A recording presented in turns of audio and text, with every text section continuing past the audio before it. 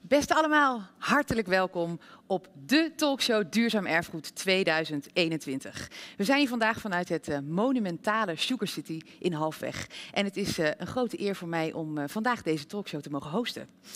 Leuk dat jullie er zijn. Um, Vandaag staat geheel in het teken van duurzaam erfgoed. We hebben natuurlijk met z'n allen de hele week al uh, aan allerlei knoppen zitten draaien. We begonnen op maandag. Hè. Hoe kunnen monumenten nou circulair en biobased worden? Uh, we zijn met het restauratiefonds zijn we uitstapjes gaan maken.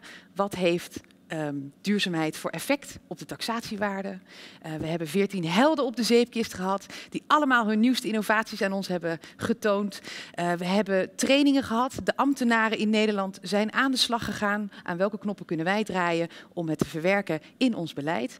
En uh, vandaag hebben we zelfs nog even een kleine vlucht gemaakt naar Lissabon, waar we de nieuwste inzichten over de erfgoedaanpak in Lissabon hoorden en ook over het Greenlight District helemaal hier in Amsterdam. Nou, we zijn uh, begonnen. Zometeen ga ik met deze fantastische mensen in gesprek. Um, voor ik dat doe, um, ga ik aan jullie vertellen wat we vandaag gaan doen. We hebben tien bijzondere tafelgasten. Ruud zit hier al, Sanne zit hier, uh, maar we hebben zo meteen Helga van Leur, we hebben Jan-Willem van de Groep en die van de Dobbelsteen. Die gaan allemaal hier aan tafel ons aan de tand voelen. Hoe duurzaam is onze monumentensector nou eigenlijk? We gaan gluren bij de buren. Uh, wat kunnen we leren van de bredere verduurzaming van de bouwsector? En uiteindelijk hebben we natuurlijk ook een heleboel prachtige heldenverhalen van onze eigen sector. En uh, die verdienen zeker de nodige aandacht vandaag. Nou, voordat wij uh, echt aan de slag gaan, hebben wij een hele bijzondere gast in ons midden. En dat is de woordkunstenaar Atta de Tolk. Die zit hier uh, in de studio. Welkom. En uh, Atta is woordkunstenaar. Hij gaat vandaag driftig meepennen met alle mooie inzichten die wij hier aan tafel met elkaar opdoen. En aan het einde gaan we luisteren naar zijn bijzondere voordracht. En uh, Atta heeft ook alvast voor ons een prachtig gedicht geschreven aan het begin van de Duurzaam Erfgoedweek. En uh, we gaan even luisteren naar 18 erfgoedprofessionals die gezamenlijk het gedicht wat Atta uh, genoemd heeft Erfgoed Algoed gaan voordragen. We gaan even kijken.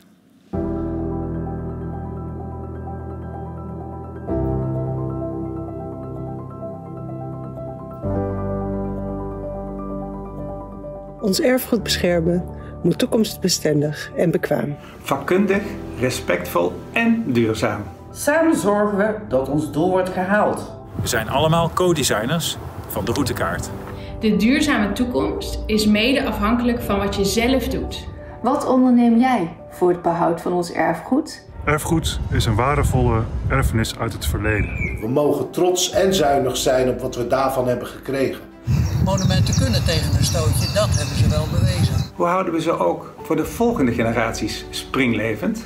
Hoe symbolisch dat verduurzaming vanuit eeuwenoude panden begint. Dus hoogste tijd voor vernieuwing en een frisse wind. Iedereen heeft een puzzelstukje en dus moeten we samenwerken. Overheden, financiers, bouwers, studenten. Uitvoerders, pandeigenaren, bedrijven en architecten. Iedereen vervult een taak. Het grotere plaatje laat zich niet beperken. Show, don't tell.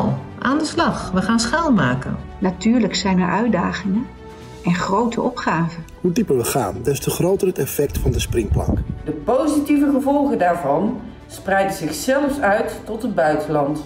Wat betreft de energietransitie verandert klimaatverandering niet van urgentie. Doelen behalen we samen en dat is de essentie. Deel je ervaring, zodat je door falen ook succes ziet. Vernieuw wat je kent. Innoveer en het resultaat is ongekend. Denk in opties en besef dat je altijd vernieuwen kan. Verras. Gun monumenten een nieuwe kans. Vernieuwde monumenten stralen iets bijzonders uit. Herstel de wonden, dan komt er een wonder uit. Laten we de challenge aangaan om CO2-uitstoot te reduceren. Laten we nadenken over hoe en er samen in investeren. Hoe worden historische wijken aardgasvrij, energie-neutraal en circulair? Zoek de oplossing dichtbij. Samen schoppen we het ver.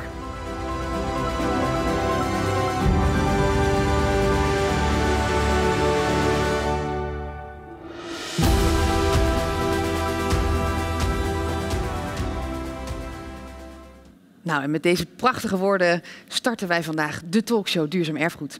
Mocht je nou denken, ik ga dat even delen op de social media, gebruik onze hashtag, hashtag talkshow Duurzaam Erfgoed. En het leuke is, we zijn vandaag live, dus jullie kunnen vragen stellen aan deze fantastische mensen die wij hier aan tafel hebben. Ga dus naar de chat, stel je vraag en dan neem ik af en toe een vraag mee in dit gesprek. Ruud Kornstra, energiecommissaris. We gaan zo meteen met jou in gesprek. Uh, Sanne de Koning, uh, de directeur van Monumentenwacht Noord-Brabant. En ook trotse partner van de hele routekaart voor het verduurzamen van monumenten. Zometeen gaan we met jullie in gesprek hoe duurzaam is onze monumentensector nou eigenlijk? Um, voordat we een tipje van die sluier gaan oplichten, gaan wij jullie even aan de tand voelen. Dus als het goed is, verschijnt er nu rechts in het scherm bij jullie een drietal vragen. En, um, want meten is weten.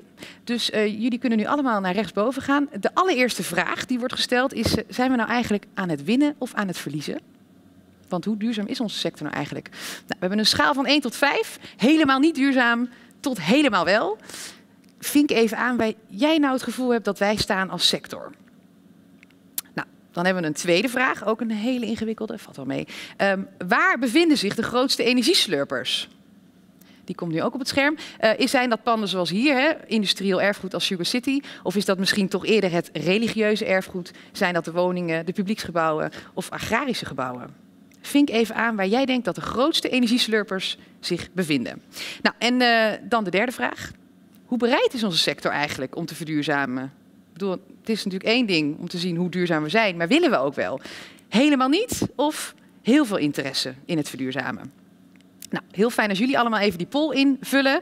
Wat we zo meteen gaan doen is kijken of we het bij het rechte eind hebben. Dus jullie hebben nog een halve minuut geloof ik om die poll in te vullen. En ondertussen hebben wij in onze data room niemand minder dan Jan, Hielke de Jong. En uh, Jan Hielke is van Phoenix en hij heeft van maar liefst 20.000 monumenten in Midden-Nederland alle energiegegevens op een rij. Gas en elektra. En uh, we hebben hele ambitieuze doelen gesteld hè, als sector. We willen graag in 2030 40% CO2 besparen en in 2040 60%. En Jan Hielke die heeft uh, hard gerekend. En uh, we gaan wat trendlijntjes zien over hoe goed of hoe slecht het nou zo'n beetje gaat in de sector. En verder is er ook een onderzoek gedaan door het Restauratiefonds naar dat draagvlak waar we het net al even over hadden. En um, Jan Hielke, we gaan heel graag luisteren de komende paar minuten. Hoe is het nou echt gesteld met de sector? Dankjewel, Suze. Uh, nou, allereerst uh, wat je al aangaf, uh, we hebben van 20.000 rijksmonumenten het energieverbruik opgehaald. Van Midden-Nederland, zoals je in deze kaart kan zien. En wat het dus voor beeld oplevert, is nou, niet bepaald positief. je merkt en je ziet dat als je kijkt naar het feitelijke energieverbruik, dat het elektra op dit moment eigenlijk van de monumenten nog steeds toeneemt. En dan zeggen we oké, is dat heel erg? Nou ja, als we volgens doorschakelen naar bijvoorbeeld ook het gasverbruik. Hè, je hoopt dan eigenlijk dat uh, uh, gas minder wordt en dan misschien wat meer elektra wordt verbruikt. Dat zou je duurzaam kunnen opwekken. Maar het gasverbruik, ja, dat blijft een hele vlakke lijn. En daar zit een beetje mijn zorg. Uh, je ziet in andere sectoren namelijk dat die lijn al duidelijk uh, dalend is. En bij ja, de monumenten op dit moment nog niet. De gewenste trendlijn, die zien jullie zelf rechts in beeld. Dat is die stippeltjeslijn. Ja, ook al beginnen we vanaf 2019 te meten op dit moment halen we onze doelen niet. Nou, en het gevolg is ook dat als je dat zou omslaan naar uh, CO2-uitstoot uh, voor zowel uh, het gas als het elektra, dan merk je dus dat, en zie je ook aan de cijfers, dat op dit moment een CO2-emissie toeneemt. Het is nog maar met een enkel procentje, anderhalf procent, maar toch, hij neemt wel toe. Nou, en dan komen we dus ook meteen bij de vraag van ja, waar zitten dan die grote energieslurpers? Uh, ja, uh, als je kijkt naar de data, die laten heel duidelijk zien, ja, natuurlijk woningen en woningbouwcomplexen, daar zijn er vele van. Vele monumentale woningen en woningbouwcomplexen. Maar de grote, uh, en wat heel erg opvalt, is de, de, de, de bestuursrechts- en overheidsgebouwen. Denk ook aan musea, maar denk ook aan raadhuizen. Ja, daar zit een heel, heel hoog verbruik als het gaat om elektra. maar ook inderdaad industrieel erfgoed, daar zit ook een heel hoog verbruik. En dan kun je stellen van ja, nou ja, dat is, uh, is dat dan heel logisch? Ja, nou ja, als je het om zou slaan naar het energieverbruik per object, nou, dan zijn dit toch absoluut de, de twee topcategorieën waar ik, uh, als het aan mij zou liggen, morgen al meteen een stap zou willen maken. Natuurlijk samen met de woningen en de woningbouwcomplexen, omdat daar zoveel van zijn. Nou, en dan tot slot het beeld van ja, het, uit het NRF-onderzoek ook gekeken naar ja, hoe leeft het onder de monumenteigenaren. En nou ja, als je kijkt van hoeveel interesse is er in verduurzaming, daar hebben we een, een poll gedaan. Uh, onder uh, in elk geval 364 uh, monumenteigenaren. En wat je eigenlijk ziet, en dat stemt mij wel heel hoopvol, is dat 81% van de monumenteigenaren is zeer geïnteresseerd in het verduurzamen van een monument. En dat blijkt ook wel nodig te zijn. Dat zagen jullie net in de andere cijfers van het feitelijk verbruik. En dan is even de vraag, ja, waar zit het dan? Waarom is het dan nog niet al gebeurd als iedereen zo geïnteresseerd is? Nou ja, wat in elk geval al opvalt is dat de monumenteigenaren uh, in elk geval in 89% van de gevallen al aangeven, ja, de basismaatregelen die hebben we al getroffen. En een basismaatregel, denk aan het vervangen van je verlichting voor LED-verlichting bijvoorbeeld, of het uh, installeren van een slimme energiethermostaat. Iets minder eigenaren, maar nog steeds heel veel, 87 80% is echt al bezig geweest met bijvoorbeeld een nieuwe HR-ketel uh, uh, of een andere manier van het, het slimmer opwekken van uh, verwarming nou, in, het, in het verblijf. En met 77% nog steeds heel veel. Zijn er ook al heel veel isolerende maatregelen getroffen. Je zou dus ook, omdat eigenaren natuurlijk meerdere zaken kunnen verbeteren aan een monument, kun je stellen dat 93% van de monumenteigenaren heeft dus al een maatregel getroffen. En dat is toch wel bijzonder. Uh, dus er is draagvlak, maar je ziet het nu nog niet terug in je energiegegevens. Nou, en dan komen we misschien ook bij het belangrijkste punt voor, uh, voor deze middag ook. Wat mij betreft vanuit data geredeneerd. Op basis ook van het uh, onderzoek onder de monumenteigenaren. je merkt dat monumenteigenaren eigenlijk op zoek zijn naar de juiste informatie. 51% vindt het gewoon lastig om de juiste informatie te vinden. En ook minstens zo belangrijk, een derde vindt het ook heel lastig om betrouwbare informatie te vinden. Kortom, waar te starten. Uh, ik ga weer terug naar jou, Suus. Dankjewel, Jan Hielke. Uh, ik ben benieuwd of onze uitslagen van de poll ook al binnen zijn. Of we die op het scherm kunnen toveren. Dan kunnen we even zien of wij het eens waren met uh, de gestaafde inzichten van Jan Hielke. Zijn ze al binnen? Dat is de vraag. Kijk, wat zien wij? Ons erfgoed is duurzaam 14% Ons erfgoed is neutraal. Oké, dus het merendeel denkt eigenlijk, we zitten een beetje in de middenmoot. Dus we waren wat optimistischer toen we begonnen dan nu we het verhaal van Jan Hielke hebben gehoord. Uh, de volgende poll, hoe is het daarmee gesteld? Welke, waar, was de grootste winst te behalen? Wat dachten we? Industrieel erfgoed staat redelijk hoog, publieksgebouwen ook. Dus daar zaten we eigenlijk nog best. Ja, ja, ja.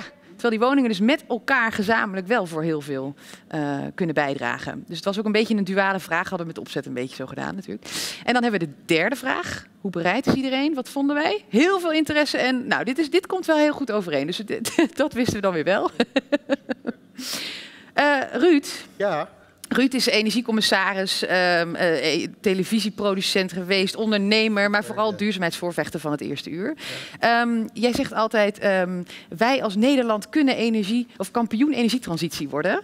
Uh, schrik jij van dit soort cijfers? Nou, als ik nu op school zou hebben gezeten en ik, je bent verantwoordelijk voor die energietransitie, tenminste zo voelt het bij mij, dan heb ik nu wel een onvoldoende. Een onvoldoende, ja. ja, dus wel slecht, uh, maar ik wist dit wel. Dit wist je wel? Ja, dit wist ik wel. Maar okay. we kunnen het tij keren. Ja? Ja. Dus Jij bent best ben, wel hoopvol. Het is Waarom ben je hoopvol? Nou, Waarom ben je omdat hoopvol?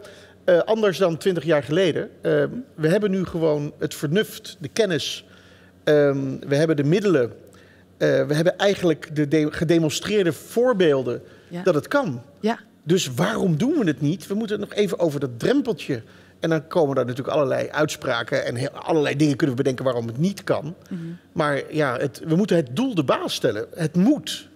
Het en... moet gewoon om allerlei redenen. Ja. En als je dat, ja als, ja, als het moet, dat kunnen we bij corona ook. Hè, dan we doen gewoon de kroegen dicht een jaar. En, en omdat het moet. Ja. Nou, de volgende crisis die eraan komt is veel groter dan corona. Dus waar we hier aan werken, mm -hmm. is denk ik, moeten we daar ook iets aan doen. Mm -hmm. Alleen het leuke is van aan hier iets aan doen, als we het doen zoals jullie al doen eigenlijk, mm -hmm.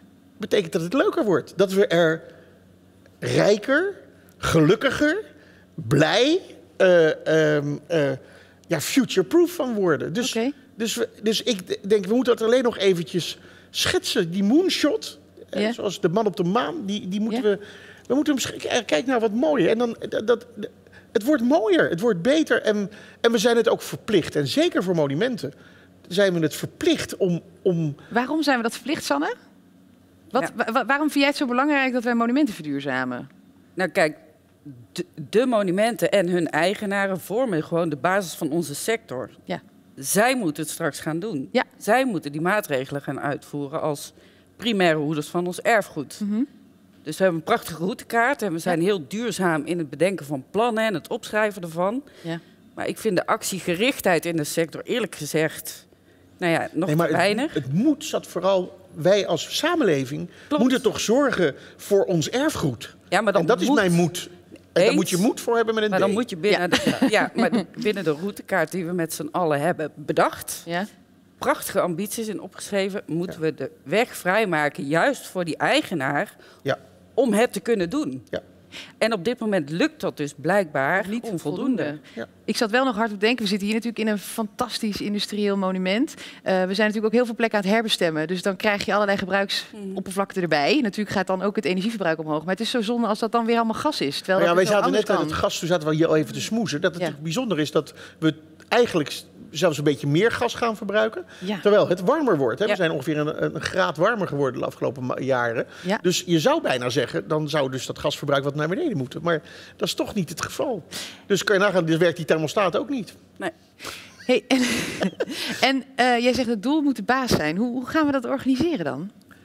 Nou is dat moeilijk? Dat, dat is, kijk, als je, ik, ik, heb het, ik gebruik het voorbeeld wel eens bij eh, de, de, eh, de, de, de NASA-tafel, waar alle techneuten bij elkaar aan tafel zaten toen het misging bij de Apollo 13. Ja. Toen zat, die mensen zaten daar buiten die dampkring en toen riep, toen riep de president van Amerika, we moeten die mensen redden. Om allerlei ego-redenen en ook om die drie mensen natuurlijk, maar het gaat nu om veel meer. Maar, en, en toen kwam de beroemde uitspraak, and failure is not an option. Ja. Vond ik zo mooi. We mogen niet falen. Nou, ik vind dat we in dit soort dingen, we mogen niet falen. En dan zet je dus iedereen aan de tafel en dan stel je het doel de baas. Dus niet het ego, niet je eigen sector, niet je eigen... Nee, even nu met elkaar. Hoe gaan we dit voor een expeditie? Hoe gaan we dit voor elkaar krijgen? En dan moet het truc worden dat je het, als je het doel de baas stelt... dan moet je naar iedereen luisteren. Want dit is wat we aan tafel hebben. En dan moet je ook de vernieuwers, ook de... En het mooie was bij die Apollo 13, in die hele high-tech omgeving... zei opeens één iemand in een hoekje... en eh, plakband, plakband, duct tape. Duct tape was het reddende middel bij de Apollo 13 in een hele andere omgeving. En dat zie je nu steeds vaker. De projecten, ik neem ook aan die jullie doen, die komen uit onverwachte hoek. Ja, maar zij, zo doen wij dat normaal niet. Nee, dat weet ik. Maar wij doen het nu wel. En kijk eens, en dan kom je van die uitspraak. Ja, maar wat is precies de terugverdientijd? Vind ik ook zo'n. Ja, wat is de terugverdientijd op je huidige energierekening? Ik zeg van die domme opmerkingen in zo'n geheel, in zo'n heel verhaal. En, en de conclusie is, checklistje maken even. Er zijn natuurlijk wel randvoorwaarden. Als duurzaam duur is, is het niet duurzaam. Maar je moet het wel eh, langer kunnen uitrekenen. En je moet het wel. Nou, en vooral met monumenten waar we toch ja, trots op zouden moeten zijn. En het moeten omarmen. En, en, en dat het niet alleen maar over je eigen, rekening, eh, je eigen energierekening gaat. Maar, en de toekomst van je kinderen. Maar ook over die, die gebouwen. Dan denk ik toch. Ja, zet het doel de baas. Je moet gewoon beschermen. Ga er En omheen staan. nog- Doel de baas. En maar die monumenten kunnen alleen maar doorgegeven worden aan volgende generaties als ze die bijdrage aan de energietransitie eh, bieden. Dus ze moeten naast goed onderhouden ook eh, worden ook een goede functie hebben. Maar daarnaast is het een bijdrage aan die energietransitie essentieel. Anders zijn ze ook ten dode opgeschreven. Dus we kunnen ze niet eh, Ja. negeren, niet achterlaten. Ze moeten mee in, eh, in de vaart vooruit. Maar wat ik wel zie is dat die eigenaar worstelt. Ja, want jij komt vaak aan keukentafels vaak. bij mensen die dus bezig zijn met het onderhoud van hun pand. En die hebben dan eigenlijk de vraag van, hey, eh, hoe kan ik dat op een duurzame manier onderhouden? En die willen echt wel. Ja. Zijn echt op zoek naar mogelijkheden om dat te gaan doen. En waar zitten dan de bottlenecks wat jou betreft? Eh, vooral... eh, De drempeltjes waar we het net over hadden, die we nog even moeten over... nou, het gebrek aan kennis van die technische innovaties, waar je het net ook over had. Ja. Maar ook gebrek aan kennis over wet en regelgeving. Ja. Dus daar helpen we ze ook mee. Ja. Ehm, Dus het is goed dat de Nou, ambtenaren deze week ook in zelf. training zijn geweest. ja, maar we moeten ze eerst stimuleren, inspireren en, en, en bij de hand pakken. En gewoon begeleiden in die zoektocht. Want het is voor die eigenaar ook niet duidelijk welke partijen in het veld... eh, zijn nou geschikt om met mijn monument te werken. Maar in, in het Ja, onderzoek blijkt dat ook, hè? de Ja. onzekerheid. Ja. Ik, ik heb net, 2,5 jaar geleden ben ik in een monument gaan wonen van de gemeente Arnhem, dat huur ik. En toen zei ik, ja, maar ik wil wel duurzaam natuurlijk. Ja, ja hoe dan? Ik zei, nou, ik ga het zelf doen. Ja. Oh, ook doe maar. Dus ik kreeg de kans om het te doen. En ik moest wel natuurlijk. Ja. Dus ik ben daarmee begonnen. En eh, toen heb ik gewoon de, de vier installateurs uit de buurt uitgenodigd. Mhm. Jongens, kom mij helpen. En dat zijn geen oplichters. Mhm. Dat zijn allemaal oprechte mensen. Dat zijn allemaal vanuit het hart vakmensen die hun hele Ja, leven al... maar. Maar, Maar. de eerste zei uit de grond van zijn hart... Ruud, doe lekker niks. Hmm. Blijf gewoon, want dat is het goedkoopst. En de duurste was 120.000 euro. Ja. En daar zat alles tussen. Ja. En dat is, die mensen zijn ook, die, en die, eh, ja, toevallig hebben ze dan, die weet iets van een warmtepomp, die weet Ja. iets van, die heeft dan toevallig dat voor, maar niemand heeft iets geïntegreerd. En ze gaan allemaal vanuit hun, ze zijn altijd ergens van. En je vindt, je moet tegenwoordig ergens voor zijn. Ik ben voor, eh, niet van een techniek, nee, ik ben voor een duurzaam monument. Ja, maar oké, maar moet, daarbij moeten ook de risico's van bepaalde maatregelen voor het karakter en de cultuurhistorische waarde van het pand in beeld blijven. En welke marktpartijen kunnen dat, weten daarmee Ja, omgaan? dus het kenniscomponent is niet alleen het kenniscomponent voor de pandeigenaar. Dat geldt ook voor de toetsende ambtenaar. Maar dat geldt ook voor die enorme grote club aan uitvoerende partijen die we je- nodig gaan hebben om die energietransitie te gaan realiseren. Hoe- is dat een uitdaging? Ja, en, en dat wat dan geadviseerd wordt, moet ook kloppen. Dus het is niet een turnkey oplossing. Nee, het is een, eigenlijk een duurzame oplossing... waar ik als aannemer, als, als adviseur... lange tijd bij betrokken ben. En ook accountable ben. Dus het ontzorgen, en daar zitten we natuurlijk met wetgeving fout... in Nederland. En, dat, en in november is het weer weggestemd. Ja. Dus ontzorgpartijen die een gebouwgebonden dienst zouden willen aanbieden... Dan heb je het nu over gebouwgebonden financiering. Financiering, Ja. maar dat is eigenlijk een dienst. Gewoon, je, je, gaat nu, je betaalt normaal 1000 euro per maand, maar je gaat nu 800 euro per maand betalen de Ja. komende 20 jaar. Ja. Omdat ik bij jou iets ga doen wat ik garandeer dat dat ook dat oplevert. Ja. Ja, dat mag in Nederland niet, wettelijk. Want dan ben je een kredietovereenkomst aangaan. Dan eh, sluit je een overeenkomst als energiebedrijf langer dan vijf jaar. Dan is, dus, en iedereen zit daar maar... Dus dat moeten we ook eens. We moeten is die, de business case zo kunnen maken, die er al lang is. Er is een business case. Het is gewoon geld te verdienen. Voor iedereen. En ook eh, dat de duurzame oplossing geld oplevert. Er kwam net een heel mooi beeld voorbij van de Sint-Janskathedraal. En daar had jij in het voorgesprek een hele leuke Ja. parallel mee. Want eh, er komt morgen in onze... We hebben een dagelijkse dosis duurzame inspiratie. Die krijgt iedereen in zijn e-mail eh, van ons. Dat is onderdeel van de Week van het Duurzaam Erfgoed. Eh, daar komt morgen de primeur, namelijk de link van jouw gloednieuwe documentaire in. Ja. Ja, met één, dan krijg ik altijd een beetje blosjes nu. Want ik heb in, in een televisieuitzending met Rick Nieman heb ik me laten. in mei was dat, werd ik gefileerd door Siep Winia en door Wiegel over duurzaamheid. Het is allemaal, het is allemaal flauwekul. Want, Ja. eh, en Michael Moore had ook die film gemaakt, Ja. flauwekul. Ja. En toen dacht ik, ik ga nu of met een stoel gooien of iets anders doen in die uitzending. Toen zei ik, nee, weet je wat, ik ga ook een film maken. En dan ga ik diezelfde vragen beantwoorden, maar dan met de Nederlandse oplossing van vandaag... in plaats van de Amerikaanse oplossing van 20 jaar geleden. Nou, die film is klaar. Die heet Het Paradijs op Aarde begint in Nederland. Hoppatee. Met de energietransitie. Hè, dat is natuurlijk, eh, eh, dat, dat, zit, dat zit daarbij. En, ehm, en daar zit, heb ik een interview met, met 40 mensen. En daar zit ook iemand uit Den Bosch, echt Brabant. Een architect die, die, die, aan het, die heel erg met die verduurzaming bezig is. En die, vertel- die gaf een heel mooi voorbeeld. Die zegt, eh, een paar honderd jaar geleden, vijf, zeshonderd jaar geleden... kwam je op je paard kwam je bij Den Bosch aan. En dan zag je die stadsmuren. En daar stond de Sint-Jan. En die was toen nog vele malen groter. Daar staat die. Die was veel hoger, die toren. En daar woonden, 40, nee, woonden 20.000 mensen. En die werden gemiddeld niet ouder dan 40 jaar. En die bouwden die Sint-Jan. Met elkaar. Hoger dan nu. En toen zei hij in een bijzin bij... En vandaag hebben we de postcode loterij nodig... om die beeldjes op de Sint-Jan te restaureren. En toen dacht ik, wat een armoe. Ja. Wat een armoe. En wat heeft die man een gelijk. Ja. Dus, dus laten we nou ja, daar weer fier en trots op zijn. En dat, en dat omarmen en met elkaar doen. En eh, ja, dat kan. Maar dat met elkaar is nog wel, wat mij betreft, de uitdaging. Zeker binnen de sector. Hij gaf nog zo'n mooi voorbeeld. Hij zegt, hij zegt daar had, daar heb ik, eh, ik ben architect. Hij zegt, en dan ga- heb ik mijn huis geïsoleerd. Zo'n monument in eh, Den Bosch. Ja. Hij zegt, en dan doe ik dat. En dan deed hij ook zo. Dat heb ik zo'n laag isolatie. Ja. Hij zegt, en dan komt er net een raket terug. En daar hebben ze buiten, is het daar eh, min 200 zoveel graden of plus 4000 graden. Ja. Met zo'n laagje isolatie. Hmm. Hij zegt, voor, en ik moet voor 20 graden te overbruggen of 30 graden te overbruggen hebben. Zo'n pakket. Zo'n pakket. Dat klopt toch niet? Ja. En hij is architect. Ja. Dus precies dat soort vragen Ja. stellen. En ook Ja. met die oplossingen komen. Ja. Ja. Ja, eh, We kunnen elkaar uitdagen door meer vragen te stellen. Overigens heb jij ook een droom bij de Sint-Jan, hè? Ja, Nog steeds. Nog steeds. Want jullie doen het onderhoud, onder andere eh, inventariseren Nee, dan hè? van zo'n kerk als de Sint-Jan. Ja, ik heb wel er serieus gekeken met een zeker iemand.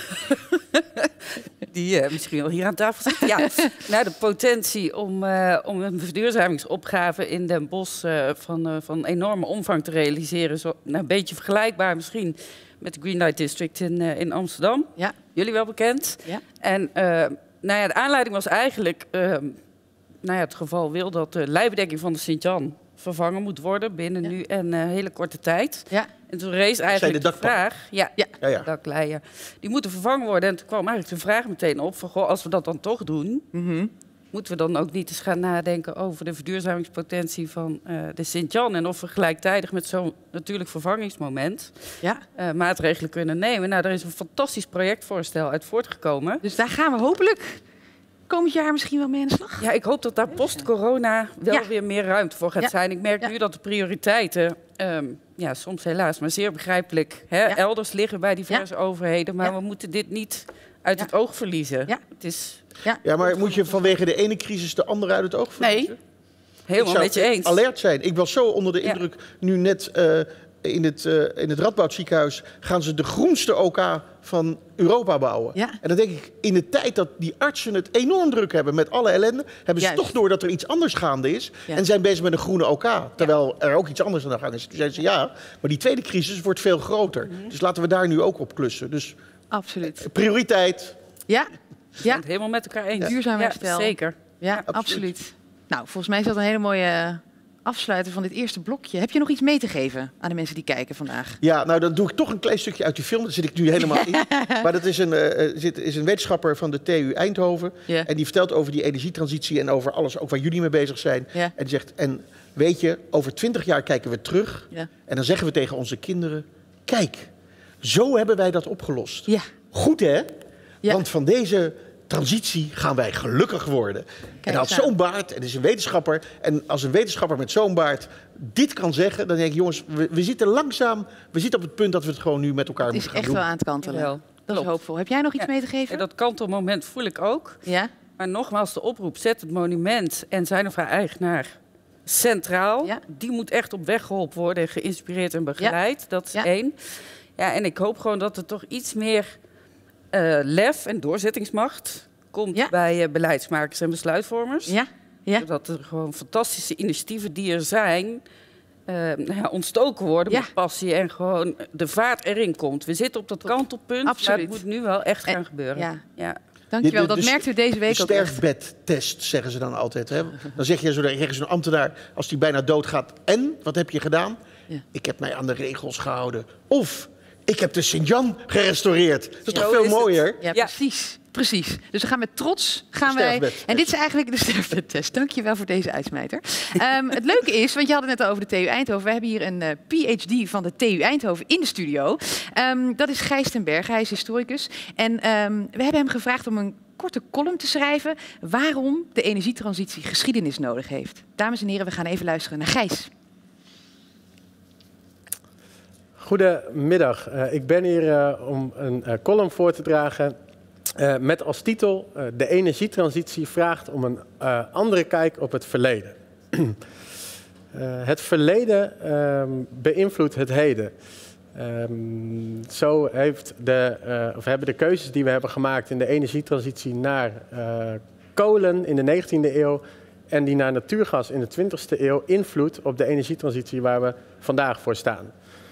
Eh, dat heeft ermee te maken dat eh, keuzes uit het verleden eh, vervolgkeuzes in het heden en in de toekomst uitlokken. Dat noemen we padafhankelijkheid. Een mooi voorbeeld hiervan is de woningwet uit 1901. Eh, die zorgde voor een functionele scheiding tussen de keuken en de woonkamer. Tot 1901 ehm, werd zowel koken als het verwarmen van het huis gedaan door de kachel. Eh, na die tijd, eh, na de uitvinding en de introductie van het fornuis en dus de woningwet, veranderde dit eh, en werd, eh, werden daarmee de keuken en de woonkamer ook als ruimte van elkaar gescheiden. Nou, die die verandering heeft invloed op de energievoorziening, heeft ook vandaag de dag nog steeds invloed op de energievoorziening in Nederland. Uh, naast de materiële invloed van de padafhankelijkheid uh, heeft ook de manier waarop wij uh, naar het verleden kijken invloed op het heden. Um, dus de manier, dan gaat het om de manier waarop wij het verleden als samenleving herinneren. Ehm, het verleden is niet een vaststaand element waar we op objectieve wijze op terug kunnen grijpen, maar is constant aan verandering onderhevig. Uh, zo was um, in de transitie naar natuurgas, uh, uh, nee sorry, ik zeg het verkeerd, de transitie ook weer naar kolen in de 19e eeuw, de herinnering aan de Gouden Eeuw van belangrijke invloed. de technische ontwikkeling die noodzakelijk was om die transitie goed te volbrengen, werd mogelijk gemaakt door een constante revitalisering van ehm, de, de handelsgeest uit, uit de Gouden Eeuw. Uh, die handels, handelsgeest uh, zorgde ervoor dat hoewel de Nederlandse een dominante positie allang verloren had, uh, Nederland, Nederlanders nog steeds toegang hadden tot de wereldmarkt door de faam die ze ermee hadden verworven. Nou, niet het verleden zelf, maar culturele symbolen die het verleden representeren, uh, vormen de basis voor um, de manier waarop wij het uh, verleden zelf vormgeven. Monumenten en monumentale panden zijn daar bij uitstek een voorbeeld van. Loop maar eens over de Amsterdamse grachten, loop naar de Sint-Bavelkerk in Haarlem of ga, breng een bezoek aan het Prinsenhof in Delft. En je wordt overladen met herinneringen aan en representaties van het verleden. Uh, maar dat geldt ook als je de dagelijkse gang naar het station maakt of uh, een bezoek brengt, aan de plaatselijke schouwburg. Uh, vaak overigens gezeteld in monumentale, monumentale panden en omgeven door monumenten. ook dan komen allerlei herinneringen mm, als vanzelf naar je toe. En dat zijn vaak herinneringen aan het verleden die wij allemaal met elkaar delen. Uh, wel nu, um, de energietransitie vraagt om een radicale verandering van de technologische praktijken, uh, maar ook de sociale gebruiken die we erop nahouden. Uh, en die zijn beide diep geworteld, zitten beide diep geworteld in onze cultuur. En die cultuur wordt voor een belangrijk deel weer bepaald door het verleden. Um, nou, monu monumenten vervullen hierin een sleutelfunctie.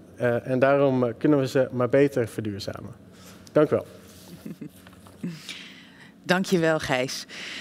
Een sleutelfunctie. Nou, dat is in ieder geval heel erg prettig om dat te weten. En uh, omdat we uh, net hebben geconstateerd dat het niet heel erg goed gaat in onze sector, hebben we besloten om even te gaan gluren bij de buren. Nou, ik heb vandaag uh, aan tafel Helga van Leur, meteorologe en ook wel echt duurzaamheidsvoorvechter en inspirator. Ik heb Merel Stolker, zij is architect en ook circulaire expert bij Sea Creators. En Jan Willem van de groep. Jan Willem, ik ben ontzettend blij dat jij er ook bent. Um, jij bent uh, beginmaker, ondernemer, uh, biobased expert. Jij schuurt overal tegenaan. Uh, je mag zelfs blijkbaar op bepaalde plekken niet meer, of komen de tegenpartijen niet meer opdagen, hoorde ik vandaag. Omdat jij toch wel lekker iedereen lekker aan de tand wil voelen. Um, en je bent een Gideon, dat gaan we zo meteen ook horen. Is de bouwsector breed, staat het er net zo slecht voor? Of is de monumentensector een, een, een uitzondering? Nee, want de, de, als je het over energie eh, hebt in de ja. gebouwde omgeving, dan wordt het beeld natuurlijk wel een beetje vertekend, omdat we iedere keer nieuwbouw bijplaatsen en slecht bezit slopen. Dat mag uh, bij gewone huizen wel en bij uh, monumenten natuurlijk niet. niet ja. Dus uh, daardoor vet tekent het beeld wel een beetje. Als je echt kijkt naar de opgave en waar moeten we staan in 2030, dan gaat het ook echt uh, bij de energietransitie in de gebouwde omgeving in algemene zin, gaat het gewoon absoluut niet snel genoeg. Niet snel genoeg. Uh, we hebben zo'n 6 miljoen gebouwen in Nederland te verduurzamen, woningen alleen al. Ja, het zijn er nog zelfs wat meer hoor. Het zijn 8, 8 miljoen 8 in uh, totaal. 9, uh, ja, 7,9 miljoen 7,9 huizen. Plus, plus nog ja. ongeveer 9 miljoen gebouwen in totaal. Ja. En als we die allemaal willen verduurzamen, hoeveel moeten we er nu per dag doen? Duizend. Duizend per ja, en dag. dat zeiden we al in 2018 en dat doen we nog steeds niet. Dus, dus we hebben het zullen er inmiddels wel wat meer uh, hmm. uh, zijn. Ja, Oké, okay. dus wij eigenlijk als sector met 120.000 panden kunnen best wel makkelijk effectief aan de slag. Die mission control van uh, net, van Ruud. Ik denk, uh, als je doet wat Ruud zegt, uh, dan moet het zeker kunnen. Maar ik denk ja. echt dat er nog wel uh, een slag gemaakt moet worden in het aanbod, de manier waarop de sector aanbod maakt en aanbod bedenkt okay. voor dit soort... Ja, want jij bent echt bezig geweest met schaal, hè? onderzoeken naar, schaal. Wat zijn nou trends, als we nou drie trends zouden hè, mogen meenemen vandaag waarvan we denken van hé, hey, dat, dat is interessant in de bredere bouwsector? Ja. Waar moet nou ja, dan, zie, dan kijk je, als je nu kijkt naar hoe je monumenten moet aanpakken, dat is echt heel erg vakmanschap. Ja. Eh, en eh, eh, zo'n 4 miljoen huizen in Nederland zijn heel erg typologisch. Ja. En daar moet je eigenlijk eh, met digitalisering, Ja. eh, hele slimme logistiek en Ja. eh, een, een goede propositie, Ja. eh, waarmee je zo'n beetje 60, 70% CO2 kunt eh, re- eh, reduceren. Ja. Het liefst maak je daarbij gebruik van zo min mogelijk fossiel materiaal. Dus je gaat naar biobased oplossingen. En dat is allemaal historie. Dus dat hoorden we net.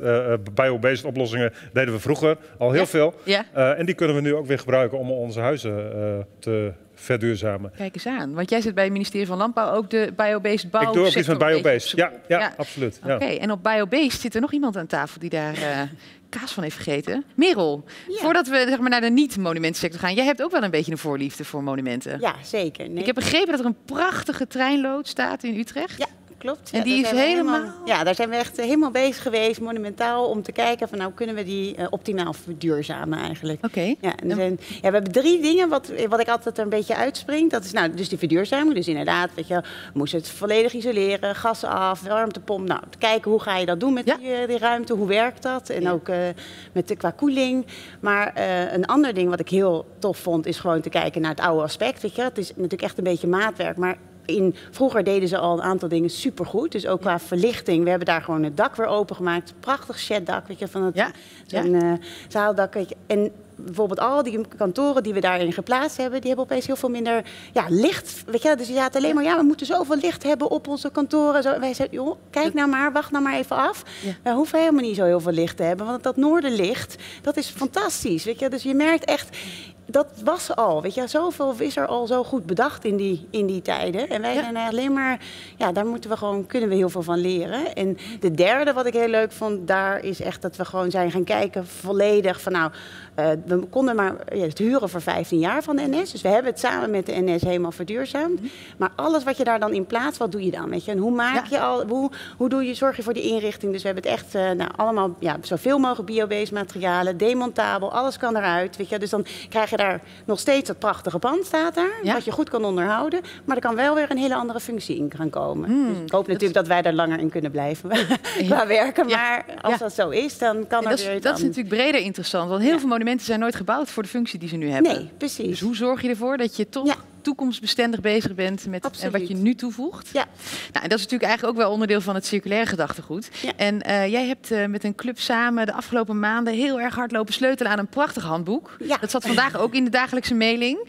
En eh, dat handboek dat gaat over het circulair renoveren van de woningcorporaties. Ja, dat was de provincie Noord-Holland eh, en eh, eh, Binnenlandse Zaken. Die hadden inderdaad de vraag van, nou, we zien er bij woningcorporaties, ja, ze willen er wel mee aan de slag. Ja. Sommigen zijn er ook al echt een beetje mee aan, het, aan de slag aan het gaan. Maar hoe moet je dat nou doen? Ja. Dus zeiden ze van, nou, eh, dus kunnen jullie een handboek schrijven? Toen dacht ik, nou, le- leuk, ja, gaan we doen. Maar ja, weet je, dat is ook nog best wel... En uiteindelijk ben ik, eh, Anne van Stijn, die kende ik al, die heb ik gevraagd, want zij is eh, aan het promoveren op circulaire renovatiecomponenten. Dus naar mijn idee, zij heeft echt veel kennis. Gewoon, ze is echt aan de slag gegaan met die verschillende woningcorporaties om te kijken van, nou, hoe, hoe doe je dat nou? Waar loop je nou tegenaan? Ja. En die kennis van haar wij eigenlijk in dat boek samen gekoppeld met een soort procestool. Met het idee om te zorgen dat, ja, weet je, het is toch die bouw. Iedereen doet het, ja, het is altijd weer hetzelfde. Weet je, je eigenlijk weer, je begint ergens mee, je, een initiatief, eh, daarna ga je het ontwerpen, daarna ga je het uitvoeren en uiteindelijk ga je het gebruiken. En dan gaat het gewoon altijd weer opnieuw. Weet je? Dus dat is het standaard.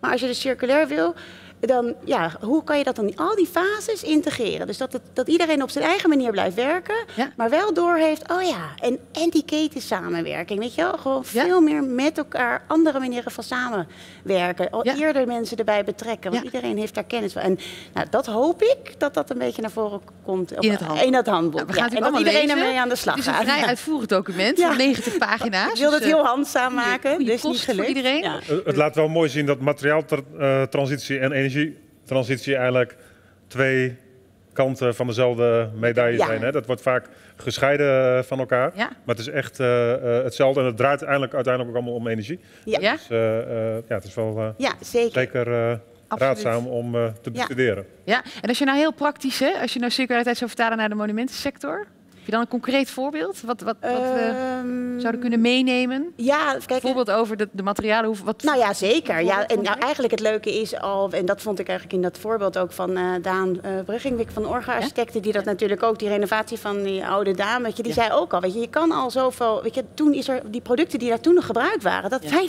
eigenlijk allemaal pure producten. En alleen moeten we, en wij zijn natuurlijk allemaal dat gaan innoveren en we zijn dat op een andere manier gaan inzetten. Maar kijk wat daar toen al voorhanden was en ook hoe dat toen gebruikt werd. En dat is een beetje die circulariteit. Dus je, je, we moeten gewoon alles is- isoleren. We, en daar is goed over nadenken natuurlijk. Wat je, maar ook hoe, als het dan aan het einde van zijn leven duur is. Weet je, want ook zo'n isolatie is op een gegeven moment misschien op. Of je hebt lekkages of wat dan ook. Hoe vervang je het dan weer? Ja. In plaats van alles weer kapot te moeten maken en het weer weg te moeten gooien. Weet je, denk ook aan hoe je goed kan onderhouden. Want onderhoud is toch wel, weet je, waarom renoveren we het? We vinden het mooi. Maar ook omdat het gewoon, je moet het bij kunnen houden. Je moet het kun- kunnen blijven onderhouden. Dat is ook echt wel een, een sleutelwoord. Oké, kunnen blijven onderhouden. Ja. Nou, en ehm, ehm, we hebben het er eerder met elkaar ook over gehad dat technologie nou niet per se de enige uitdaging is. Sterker Nee, nog, klopt. technologie. Nou ja, dat is iets waar we natuurlijk heel erg op aan het inzetten zijn. Dat is dat sociale in- eh, innovatie en cultuurverandering in de bouw eh, Ja. natuurlijk ook superbelangrijk is. En Ja. eigenlijk misschien wel de sleutel tot een veranderende sector. Ja, samenwerken. Absoluut, Ja, absoluut. Want ik heb eh, Helga van Leur uitgenodigd om eh, vandaag deel te nemen in onze talkshow. En toen ik jou eh, belde, toen zei jij, dan wil ik meteen bij blokje 2. Ik wil gluren bij buren. Jij werd daar zo enthousiast van. Nou ja, Waarom, sowieso. Helga? Nou ja, de hele monumentensector is natuurlijk een, een, een hele, ook ergens wel een hele ingewikkelde sector. Het zijn natuurlijk allemaal unieke gebouwen met een unieke historie, unieke gebruiksfunctie. Dus hè, we moeten weer vooruit naar vroeger, maar misschien ook samenwerken met vroeger. Omdat we het in de toekomst nog willen gebruiken. Dus ik, ik gluur heel graag bij vakgebieden waar ik eigenlijk nog niet zo heel veel van af weet. Ja. Omdat ik er ongelooflijk veel van leer. Ja. En gluren bij de buren is ook eigenlijk de sleutel om in beweging te komen. Waarom? Als wij kijken, nou ja, als wij kijken naar monumenten in eh, het buitenland. Ja. eh, de Sacré-Cœur die afbrandt. Ja.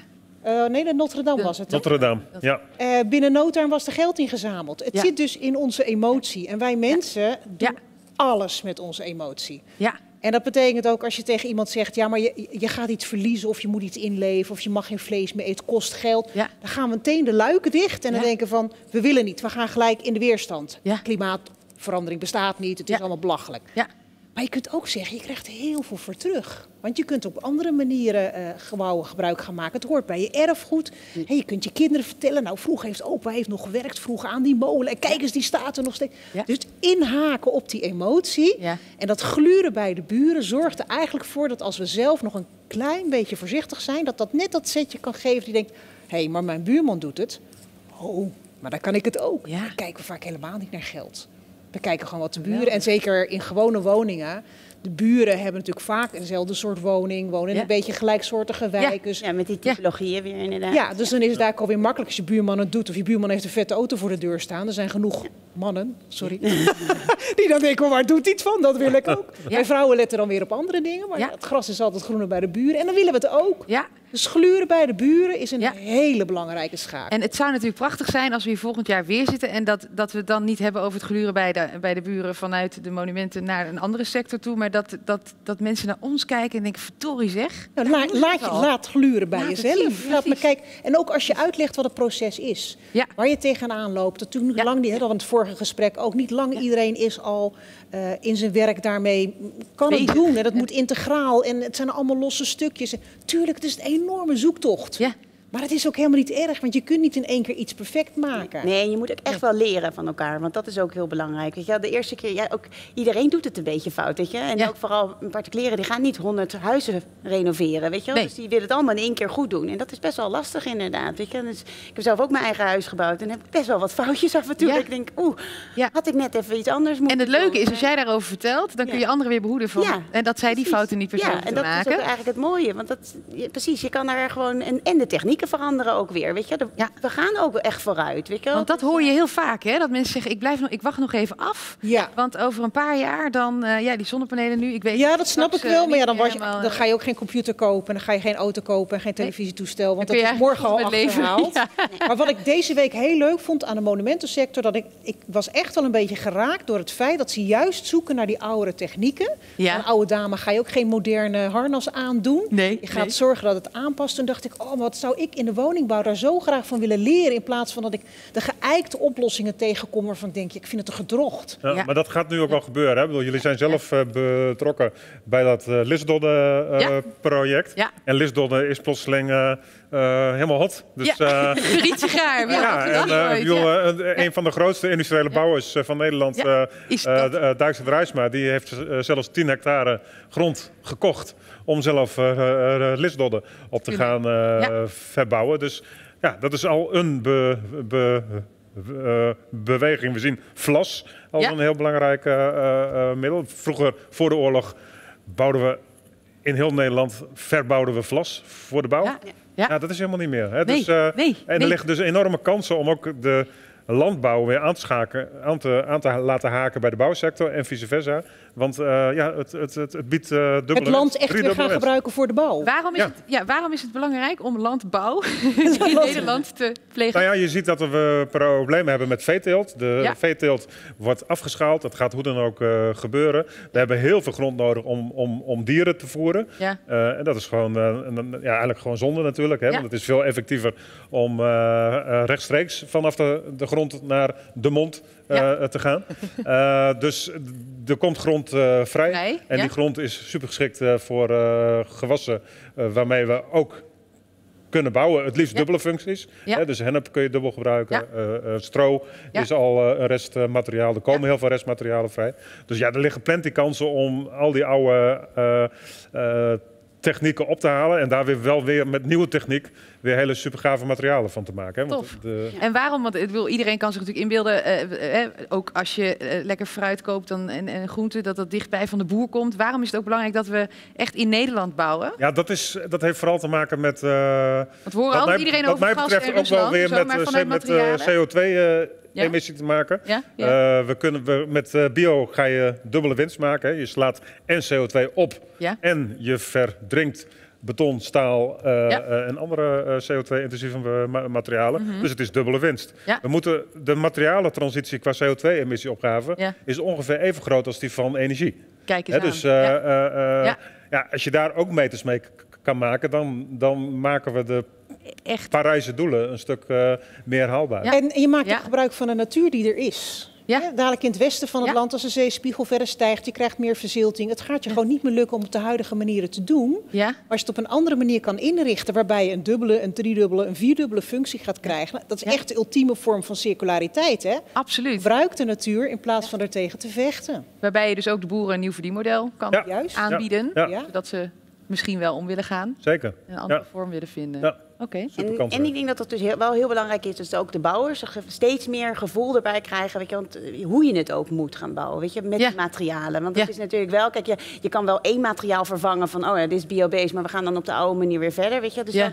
dan, daar- er is Ja, dat is dat want dit is dus een interessant verhaal. Want ehm, eh, aan de ene kant, hè, als, je, als, je, als je eenmaal een beetje erin zit, denk je alles kan. Nou, dan moet het ook allemaal. Tegelijkertijd hoorde ik jou ook eerder zeggen van het gaat. Kijk, circulariteit is zo'n groot onderwerp. Kun je dat wel beetpakken? En in hoeverre kun je niet ook met bepaalde elementen beginnen? Bijvoorbeeld, dus Nou, één onderdeel pakken in het proces. Ja, dat is vooral bij renovatie. Bij Dat was- renovatie. ja, dat, ja, dat kan natuurlijk ook in de, de bouw. Maar kijk, als je nieuw gaat bouwen, dan kan je dat veel dan heb beter je een uit. blanco canvas, Ja, dan, precies. eh, en voor een, echt een volledige circulaire renovatie is dat best wel lastig. En voor, voor mensen, ik zou ook even, want circulariteit wordt nog best wel vaker natuurlijk inderdaad. eh, Ja, wordt weer een groot begrip op het moment. Ja, absoluut. En zoals wij het ook hebben omschreven, is dat je eigenlijk altijd moet bedenken dat het om drie dingen gaat. Vernauwen, vertragen, sluiten. Het gaat gaat dus van nou gewoon circulariteit, zo min mogelijk materialen gebruiken. Dus de materialen die je gebruikt, dat je daar goed over nadenkt. Dat je eigenlijk qua grondstoffen, weet je, dat je zo min mogelijk grondstoffen toepast. Ja, ja, Eh, vernauwen. vertrouwen, eh, vertragen houdt in dat je die grondstoffen zo lang mogelijk, tij- ja, zo, de le- levensduur van zo'n grondstof zo lang mogelijk. Het zit bij een monument wel lekker. Ja, precies. En, dat, en ook als het er dan weer uitkomt, weet je, wat doe je er dan weer mee? De dakpan of wat dan ook, kan je daar weer, wat, kan je er weer die grondstof weer verpulveren en kan je er weer iets anders mee? Ja, ja. En dan uiteindelijk het sluiten gaat er echt om dat het weer teruggaat in de natuur. Dus daarom zijn die biobased materialen zo ideaal, omdat je dan gewoon weet het is. Maar dan moet het niet beschilderd zijn, bijvoorbeeld met een chemische verf. Nou, je vraagt wel om, ook om een Andere? andere bouwpraktijk. Ik ben ook wel, ik ben ook wel, eh, ik ben natuurlijk bezig met het oplossen van, de energie, van het, het CO2-vraagstuk per 2030. Hè. Dat vind ik eigenlijk Ja, 2030. vertel eens, meneer Gideon. Ja, Hier met een 2030. Gideon aan tafel. Wat betekent dat? Ja, de Gideonieten die zijn bezig met het oplossen van het CO2-vraagstuk. En daarbij ligt de grootste opgave niet in Dus het 2050. initiatief van jou en Jan Rotmans en Ja, en Norbert Schotten. precies, de Eh, Gideonsbende. Ja, eh, en een klein beetje de Cobouw, Ja. eh, die daar ook mee hebben geholpen. Ja. De, het belangrijkste is, iedereen denkt we moeten nul, nul CO2-emissie hebben in 2050. Ja. We hebben nu, op dit moment, als je naar dat CO2-budget kijkt, Ja. dan verbruiken we op dit moment het dubbele van wat we zouden mogen verbruiken. Ja. Dus als we nu doorgaan zoals we gaan, dan wordt ieder jaar dat CO2-budget heel, Heel- snel minder. ja. Dus binnen zeven jaar is het al op. Dan zitten we al dik over anderhalve graad heen. Ja. Dus 2030 moeten we op 75% zitten om überhaupt in 2050 op nul te kunnen uitkomen.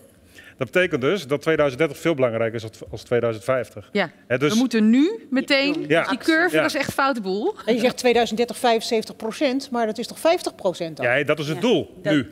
Maar we- Maar om, om het echt te halen, die om op nul uit te kunnen komen in 2050, Ja. moeten we eigenlijk in 2030 op 75% uitkomen. Dat, dat, is een, dat is niet een lineaire curve, het is zo'n curve, omdat we nu Jij zit ver- echt in, in de zo, terwijl ik denk 50 kan ook zo zijn. Ja, maar- maar we zitten nu, we zitten nu op het dubbele eh, CO2-verbruik van Wat wat we we, zouden- wat we zouden mogen doen vanuit de klimaatbudgetten die we afgesproken hebben Ja. in Parijs. Nou, het 2030 moeten we halen. Ja. En om 2030 te kunnen halen, moeten we echt op een hele andere manier in die bouwsector Ja. eh, eh, aan de slag.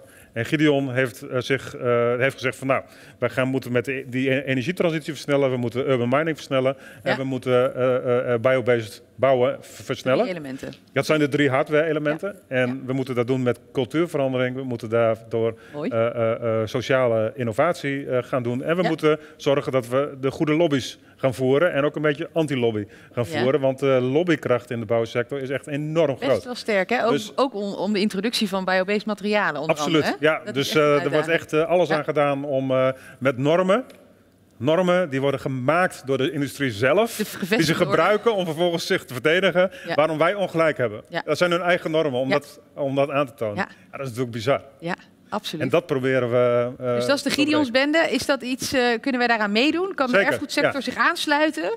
Zeker. Ja? Iedereen kan, eh, kan zich aansluiten. Iedereen die zich eh, Gideon voelt, moet gewoon eh, Meedoen. aansluiten. Ons beeldmerk, want Gideon klinkt een beetje mannelijk, maar ons Ja. beeldmerk Klinkt wel. Oké, dat is heel goed. Dus, maar Gideon is een bijbels verhaal. Ik ben zoon van een dominee. Ik heb er verder niet zo heel veel meer mee. Maar het, het verhaal van Gideon is wel fantastisch mooi. Vooral hoe hij de mensen selecteerde die uiteindelijk... eh, ging hij met een heel klein leger, ging hij een heel groot leger eh, aanvallen. Ja. En hij moest een bepaalde selectie uitvoeren om uiteindelijk die 300 mensen, eh, mannen over te houden. Eh, die, hè, dus als laatste moesten ze water gaan drinken. Ja. En, en eh, degene die water dronken eh, met een kommetje zo, Ja. die werden eruit gebonjourd. En iedereen die slurpte, die mo- mocht in de groep blijven. Want dat waren de meest heldhaftige mannen. Die, hè, dus de meest sto- Dus we hebben eh, meer mannen. heldhaftige mensen We nodig. hebben, we hebben Mannen en stoere- vrouwen. Stoere mannen en vrouwen nodig om eh, dit voor elkaar te Nou, dat hebben we bewezen, want we hadden iedere dag deze week minstens 300 mensen die deelnamen aan onze sessies. Maar bedoel, kunnen dat jij allemaal geen Gideon was, aansluiten. dat was boven Nou ja, ik heb mij aangemeld via jouw website. Ja, ik denk dat ik in de spam ben beland, maar ik ben nog niet. Beëdigd. Ja, precies. Ja. Als Gideon. Maar eh, wat ik nog, eh, laatste dingetje wat ik graag, eh, want dat hadden we vandaag ook gedeeld in de dagelijkse mailing van deze week. Ehm, ik weet nog, hè, je, bent natuurlijk vanuit de stroomversnelling vanuit Factory Zero heel erg bezig geweest met hoe kunnen we nou op hele grote schaal zorgen dat we die energiereductie in gebouwen en ook de opwekking volledig zo duurzaam mogelijk en zo schaalbaar mogelijk krijgen. En ehm, je hebt een, een, een, vind ik heel leuk, een blog gemaakt, een soort open onderzoek. Je laat je ook inspireren door verhalen. En je bent een beetje van je geloof gevallen, als in hybride is eigenlijk toch ook best oké. Klopt. Dat is voor onze sector best wel fijn om even te weten. Want wij hebben natuurlijk zo'n mooie ambitie, hè? 40 en 60 procent, wat we net al noemden. Ja, ja. Ehm, vertel even heel kort, in Ja. één zin nog, wat klopt. dat Ik inhoudt. zat natuurlijk heel erg op die. oh, Ik dacht van, als we een grote sprong maken en we doen dat heel veel, dan komen we sneller Veel bij dat grote sprongen, plan. Kwamen we niet, want het gaat allemaal veel te traag. De innovatie lukt niet, blijft allemaal veel te duur. Ja. Dus ik ben gaan rekenen. Ik heb die 75% CO2-reductie in 2030 als uitgangspunt eh, ge- genomen. Ja. En als we echt heel slim, vooral die 4 miljoen typologische huizen, hè, dit is echt een ander vraagstuk dan jouw huis. en Ja, jouw maar goed, en wij hebben ook typologieën. We hebben molens en wij hebben Ja, kerken. maar, ja, en we en zo kun je er wel over nadenken. En, als je dus, dus, 30. dus e- e- echt gaat nadenken van ja, hoe bereiken we nou 60, 70 procent CO2-reductie Ja. door gewoon heel slim typologisch naar die woning te kijken en daar eh, misschien wel hele andere, andere mensen aan te laten werken dan bouwvakkers en, Ja. en eh, ins- installateurs, Ja. dan eh, kunnen we veel sneller. Ja. En die snelheid is, is nodig. Dus ik heb liever dus, eh, 2 miljoen huizen op 70 procent Ja. dan 100.000 huizen op 100 procent. En dat is het, eigenlijk het idee waarom ik toch erachter ben gekomen dat hybride, want je kunt dat doen voor bijna de prijs van de portemonnee. Dus Ja. dat kost ongeveer 15.000 euro voor zo'n rijtjeshuis. Ja. Dat is ongeveer evenveel als dat je de komende 15 jaar uitgeeft aan eh, eh, je energierekening. Dus Absoluut. het is eh, Je bent een dief betaalbaar. van je eigen portemonnee als je het niet doet. Als de oplossingen er maar zijn. hè? als ja, die oplossing ja, is. Ja, Ja. maar die, die, die oplossingen zijn er nog niet op de manier zoals ik ze wil. Want eigenlijk is de oplossing is dat het gewoon een, een, een, een... Ja, ik zou bijna zeggen, het is eigenlijk een logistiek vraagstuk. We moeten gewoon een logistiek vraagstuk oplossen. Ja, absoluut.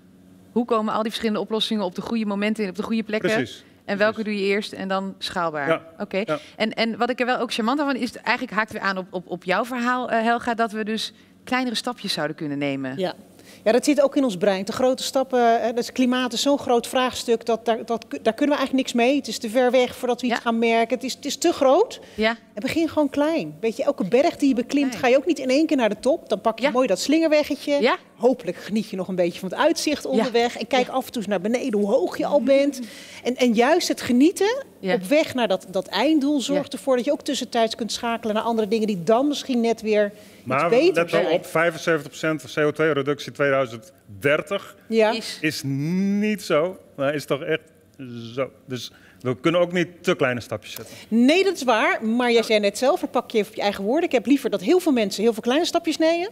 Ja, dan maar ik een paar mensen iets En- minder. en wat jij ook zei- 65% is toch wel een redelijke stap eh, qua Nou, CO2. en, en het, eh, de, de aantrekkingskracht van een stap zetten, dat, doet, dat smaakt Ja, naar ja, ja, meer. dat hè? Dus je Dat wil dat mensen instappen Het is psychologisch bewezen dat mensen vijf keer meer, eh, vijf keer meer emotie hebben bij het kwijtraken van iets Ja. dan eh, dat ze iets krijgen. Dus Maar het gevaar is ook als mensen wat gedaan hebben, dat ze denken, ja, maar weet je, ik heb toch al wat gedaan. Ik en heb dan juist weer achterover gaan Dat is wel een beetje die staartjes die we zagen. Van nou ja, ik heb toch al een aantal dingen Ja, gedaan. dus het is toch eigenlijk, als ik vraag van wat zijn jouw drie volgende stappen, zeggen ze altijd, ja, maar ik doe heel veel. Oh, ja. Top! Maar wat zijn jouw volgende drie stappen? Ja. Dus iedere keer denk weer wat jouw volgende, en niet meer dan drie, want dat is te verwarrend. Wat worden jouw volgende drie stappen om uiteindelijk een 2030 te bereiken? en ik denk ook toch... Ik ga nog één vraag stellen. Sorry dat ik je onderbreek. Want we moeten al bijna door naar het volgende. Kunnen jullie één ding noemen waar we direct mee moeten stoppen in de monumentenwereld? Eén ding wat we verplicht zouden moeten stellen. Verplicht, dus je moet er ook nog mensen aan kunnen... Ja, Misschien, zeggen- misschien eh, stoppen met uitleggen waarom het niet kan. En gewoon iedere dag op jullie website kijken wat er allemaal wel kan. Ja. Jullie kunnen al zoveel. Dat vind ik nou een hele mooie om mee af te ronden. En stop met ja maar. Stop ja met maar ja maar. is een verboden woord. verboden Vanaf nu woord. zeg je, oké, en, En hoe gaan we dan? nou weer meer daarvan Ja, creëren? Hoe beginnen dan? en aan anderen vragen, weet je wel, Ja. die het al wel gedaan hebben. Precies. Lessons learned meenemen. Nou, Gluur- jij hebt gluur bij je fantastische- Precies, het gluren bij de buren. Nou, we gaan nu even gluren bij onze eigen sector. Want het is namelijk zo, ehm, er is ook heel veel goeds gaande in onze sector, gelukkig. Ehm, wij eh, hebben gisteren 14 helden op de zeepkist gehad. Die hebben allemaal hun nieuwste innovaties aan ons gepitcht. Ehm, allerlei bekenden van jou stonden ook op de zeepkist, heb ik begrepen. Ja.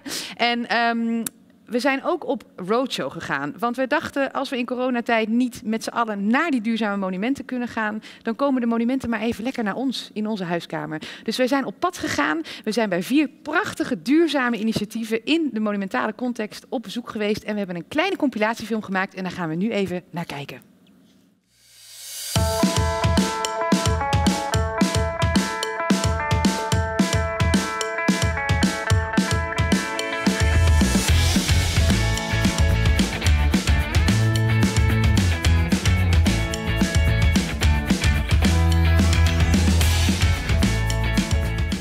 Men vraagt wat we hier gedaan hebben, ja, dan zeg ik altijd, we hebben ecologisch gerestaureerd. Dus we hebben het in de oude staat teruggebracht, zoveel mogelijk. Ook op de technische manier qua ventilatie, maar ook in materialen. Dus we hebben geïsoleerd met alleen natuurlijke materialen. Bij het uh, ecologisch duurzaam restaureren van een rijksmonument uh, kijk je eigenlijk nog meer naar het monument. Hè? Dus je hebt, je hebt, uh, we hebben hem niet voor niks de oude dame genoemd. Hè? Het wordt echt een gebouw. en ja, daar passen natuurlijke materialen gewoon heel goed bij.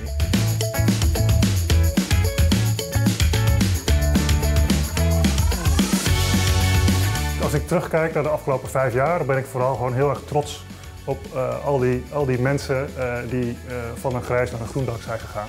Maar ik heb inmiddels ook drie kleine kinderen. en dan gaat je horizon ineens nog weer een stuk verder. Um, en ik wil heel graag dat, dat die kinderen ook van deze mooie stad en dit mooie land kunnen blijven genieten. En daar wil ik me elke dag voor inspannen om dat mogelijk te maken. Als je nou zelf een monument hebt, eigenlijk is de belangrijkste tip, denk eens aan je dak als het niet lekt. En stel je eens voor wat voor plek dat kan zijn.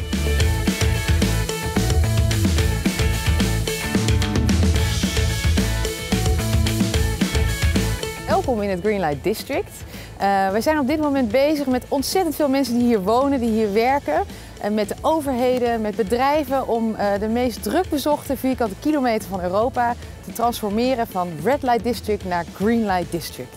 Het moet toekomstbestendig, het moet duurzaam, het moet een stuk gezonder dan nu. We zeggen altijd, als het verduurzamen hier kan, dan kan het overal.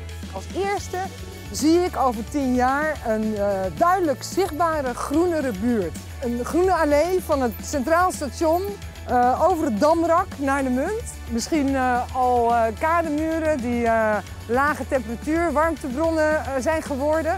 Dus niets staat ons in zijn weg om die toekomst te gaan realiseren.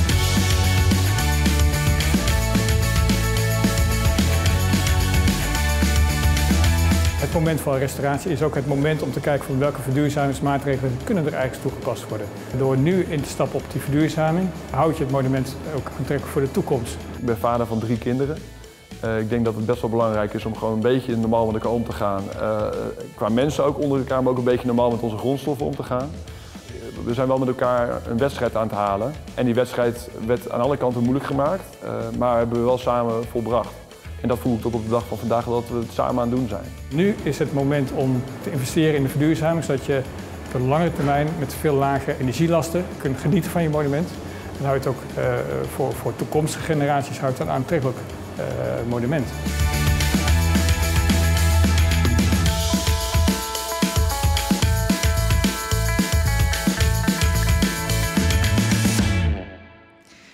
Nou, we hebben dus net kunnen zien, het is niet allemaal kommer en kwel. Er gebeurt ontzettend veel goeds, moois, duurzaams in onze sector. En dat hebben we de afgelopen week ook met z'n allen bewezen. Want het gonste van de duurzame inspiratie en ook zeker van de duurzame impact.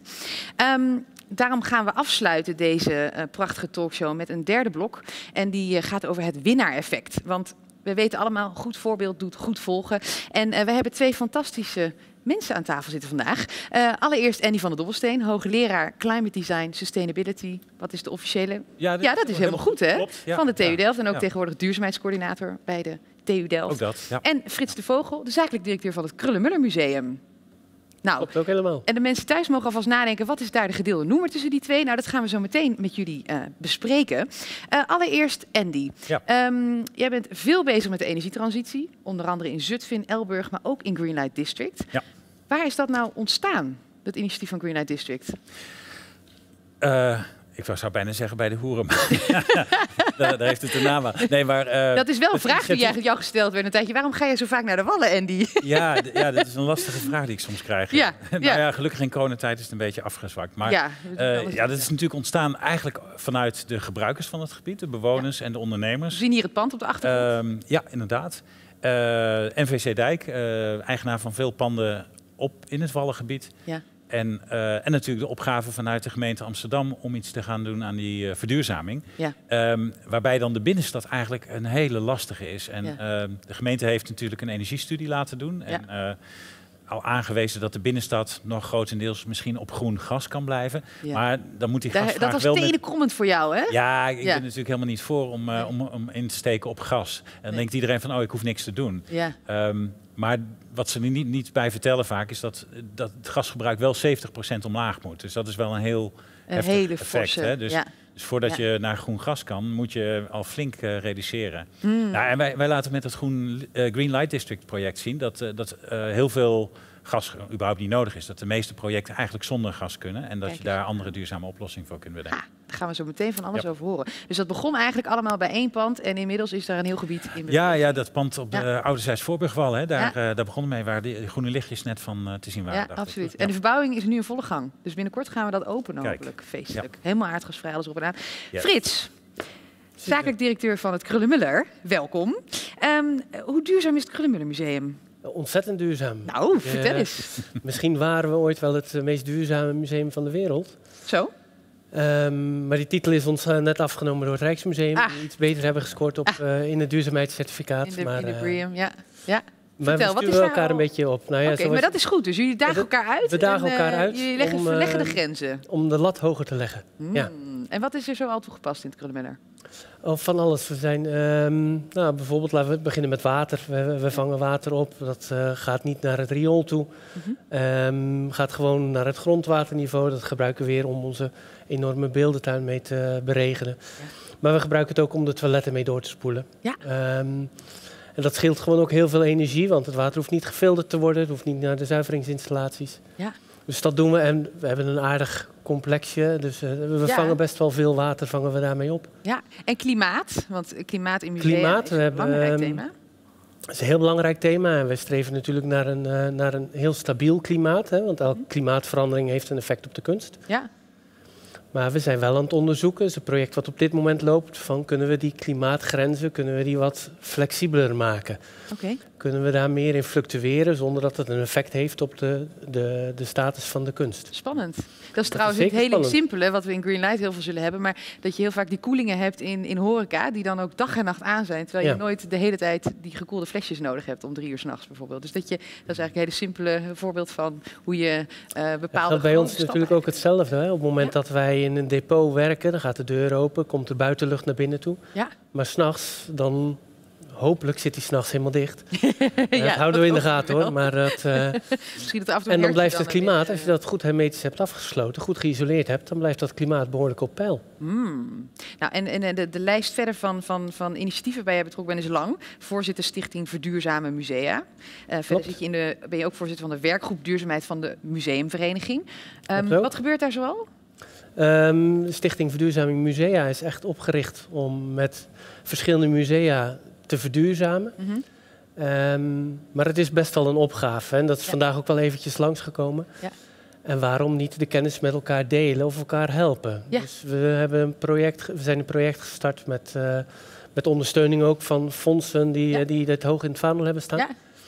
Eh, waarbij we de, de lood eigenlijk hebben verdeeld. Mm. Kijk, en een pand is vrij uniek. Hè? Ieder museum heeft zijn eigen pand. Ja. Maar als je gaat kijken naar een milieubeleid of een inkoopbeleid... of van hoe ga je daarmee om, dan kan je kennis heel goed met elkaar delen. Tof. En je kan natuurlijk ook de best practices die je in je pand tegenkomt... die kan je ook weer met elkaar delen... waardoor je niet altijd het wiel opnieuw hoeft uit te vinden. Kijk, dus we kunnen elkaar inspireren in die zin. En er is al heel veel En helpen. En vooral helpen. Want eh, Die, Klok ehm, en Peel noemde je voor, al in, eh, in, de, in de voorbereidingen. Wat is daar bijvoorbeeld gebeurd? Want die lopen ook echt Ja, Klok en Peel, die, die, die, zijn echt... Het, leuke vind ik zelf van Klok en Peel... is een museum wat je niet heel vaak tegenkomt. Hè, dat is eh, in Asten. Mhm. Ehm, het draait helemaal op vrijwilligers. Ik geloof dat ze één of twee betaalde krachten hebben. Ja. En die hebben eigenlijk met, eh, vanuit het collectief... Mhm. tijdens een verbouwing, tijdens een renovatie... Hebben ze er een duurzaam museum van gemaakt. Hè. Maakt, de bezoeker die merkt dat. Ze zit ook in een prachtige omgeving. Ja. Maar alles wat moest veranderen, hebben ze zich afgevraagd van ja, hoe kunnen we dit toekomstbestendig maken? Hoe kunnen we dit verduurzamen? Fantastisch. En dat hebben ze eigenlijk in een museum, ja, in een, in een klein museum, Ja. hebben ze enorme stappen gezet. Ja, Met, van WKO en Groendak tot aan... tot aan zonnepanelen, tot Ja. aan de manier waarop ze werken. Want Ja. het zit, er zit natuurlijk heel veel in gedrag. Hè. Het is niet alleen maar Ja, energie. we hadden het er net eh, al even over met Helga. Het is natuurlijk niet alleen de technische opgave. Het is ook het gedrag. Ja, Ja, zeker. absoluut, absoluut. Mooi. En het eh, Fries Museum noemde je ook eerder. Fries Museum die heeft, eh, ja, die hebben een paar leuke dingen gedaan. Die hebben een, in Friesland is er een nieuw depot en dat is een heel duurzaam depot geworden. Ja. Dat, is, dat is erg mooi. Dat is Mhm. geen monument, want het is relatief nieuw. Ja. Maar het is wel echt inspirerend zoals ze dat gedaan hebben. Ja. Ook met veel kennis, wat bijvoorbeeld uit Denemarken vandaan kwam. Ja. Maar het Fries Museum zelf ook zit ook in een nieuw pand Ja. eh, midden op het plein. En die hebben ernaar gestreefd om van het gas af te gaan. nou, eh, Friesland is geen Groningen, maar goed, eh, de, de gaswinning is vlakbij. Ja. Maar ze hebben de graskraan gewoon helemaal dichtgedraaid. Dichtgedraaid. Kijk eens aan. Dus het kan gewoon. Prachtige prestatie. Ja. En in Noord-Holland wordt binnenkort een menukaart ook helemaal gemaakt. Rondom, Ook dat. Met al die voorbeelden die nu genoemd worden, die staan daar dan straks ook op. Dus die kennis uitwisselen, dat zit wel goed. En de sector weet elkaar ook wel te vinden en te inspireren. Nou, dat is natuurlijk wel een, een verbinding eigenlijk ook met wat er in Greenlight District gebeurt. Want dat is ook echt een, een bottom-up systeemverandering, hè, wat we daar proberen te realiseren. Klopt, ja, Ja. ja. Ook vanwege de lokale partijen die bij betrokken zijn. Hè? Ja. Dus een aantal Amsterdamse adviesbureaus. De Ja. Groene Grachten, de Gezonde Stad, uh, Ja. Rooftop Revolution. Ja. Maar vooral dus de lokale bewoners en eh, gebouwbezitters, Ja. ondernemers. Ja. Ehm, die willen zelf heel graag. En dat, dat, dat maak ik ook vaker mee dat mensen eigenlijk best wel heel graag willen verduurzamen. Maar het probleem is vaak, ze weten soms de technische oplossing niet. Ze hebben Ja. het geld niet. En hebben ook partijen nodig die daarbij kunnen adviseren en, Ja. en helpen. En, en dat doen we nu. Nou, en het leuke is, jij hebt aan, we hebben een hele groep ambassadeurs hè, in het Greenlight District. Die zijn super trots op wat we daar met z'n allen aan het doen zijn. Die Mhm. vertellen daarover, die inspireren mensen in hun omgeving. En je hebt vorige week aan hun al eh, Ja, de roadmaps gepresenteerd. We gaan, Ja. Vandaag gaan we ze officieel zien. Ze kwamen net al even voorbij. Ja, eentje kwam er voorbij. Misschien kunnen we de eerste al even op het beeldscherm toveren. En kun jij even vertellen, want er zijn er drie, hè, worden er nu eh, gepubliceerd. En de eerste geeft eigenlijk een beetje een plaatje van de huidige problemen en uitdagingen. Gaan we niet Ja. te lang bij stilstaan, we weten hoe moeilijk het is. Allemaal en hoe slecht het ervoor staat. Maar wat, wat zien we hier op dit beeld? Nou, we zien hier bijvoorbeeld eh, de, de oude monumentale panden, hè, die eh, eh, niet geïsoleerd zijn of slecht geïsoleerd, die veel kou hebben in de winter, tocht. Eh, in Ja. de zomer kunnen ze ook weer te veel opwarmen, waardoor het onprettig wordt in de zomer. Ja. Dat is bekend natuurlijk. Hè. Het, zijn meer het zijn eh, bedrijfspanden die enorm veel energie gebruiken en ook veel eh, energie De verliezen. grote, de bijenkorven. De en Bijenkorf en, eh, en, en musea, hotels bijvoorbeeld eh, hotels, die er zitten. Ja. Eh, er is natuurlijk sociale overlast. Hè. De, eh, Mhm. Het oude toerisme dat nog naar de Red Light District kwam, dat zorgt voor veel overlast. Eh, dronkenschappen, eh, lawaai, rommel. Ja. Ehm, en dan hebben we nog eh, dat het de boel heel erg versteend is. En Ja. eh, eh, dat is ook niet prettig voor Nee. het klimaat in de zomer. Eh, Ja. En het is natuurlijk niet goed voor de biodiversiteit, et cetera, Ja, et cetera. klimaatadaptatie, grote uitdagingen. Ja, ja precies. Ja. Oké, Dus dat, dat, is- deze kaart ja, die, die laten we eigenlijk zien. Oh ja, met laatst zagen net ook al wat foto's voorbij komen van instortende kademuren. Nou, dat Ja, is ook hier- best een uitdaging. Grimburgwal is ook al ingestort. Ja, dus gewoon een paar miljard Ja, er moet hier ook echt wat gebeuren. Ja. Eh, ma- maar wat wij dan proberen, en dat, dat is misschien in kaart 2 te zien.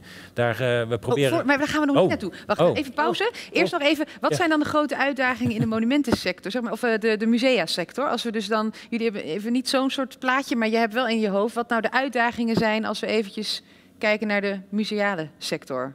Waar lopen jullie nu tegenaan? Ehm, Want je zegt, ja, we kunnen elkaar heel goed vinden. En, we, eh, kunnen, we kunnen elkaar heel goed vinden en de, de kennisontwikkeling die is natuurlijk in volle gang. Hè? Er zijn veel bedrijven die er ook echt op inspringen om, om nieuwe, nieuwe methodieken van elektroopwarming, eh, opslag eh, te gaan ontwikkelen. Ja. Grote uitdaging zijn vooral de keuzes. Ja. Van wat, waar ga ik nou aan beginnen? Want de opgave is enorm. ja, Eh, zodat we die curve groot. Jan Willem ook sneller maken. Wat doe je eerst? Wat doe je eerst? Hè? Wat is je laaghangend fruit? Wat kan je ook doen? En, ehm, de duurzaamheid heeft ook een financiële component. Hè? Je kan ontzettend veel investeren waarvan je ook weet dat je het nooit terug gaat verdienen. Ja. Maar als je gaat kijken naar wat kan ik in investeren, wat kan ik wel op korte termijn terugverdienen, dan kan je ook weer middelen vrijmaken om in je programma te steken of op andere zaken te doen. Dus, Ja. dus dat is vooral de zoektocht, denk ik. Ja. Maar het is ook het vrijmaken van capaciteit om mee aan de slag te gaan. En dat zien we wel gebeuren, dat dat steeds meer komt, dat mensen echt ermee aan de slag willen gaan. En dat het ook bijna niet meer kan Ja. En Ja. niet mee aan de slag zijn. Ja. Want de consument, hè, de klant, de bezoeker, Mhm. die verwacht het ook. Ja. Die verwacht niet dat ze continu om een zonnepaneel heen moeten lopen om bij de kunst te komen. Maar die verwacht wel dat je als Daarvoor zorgt. Ja. publiek instituut dat je ook echt bezig bent met, eh, met de wereld. En dan is corona natuurlijk wel een flinke knauw.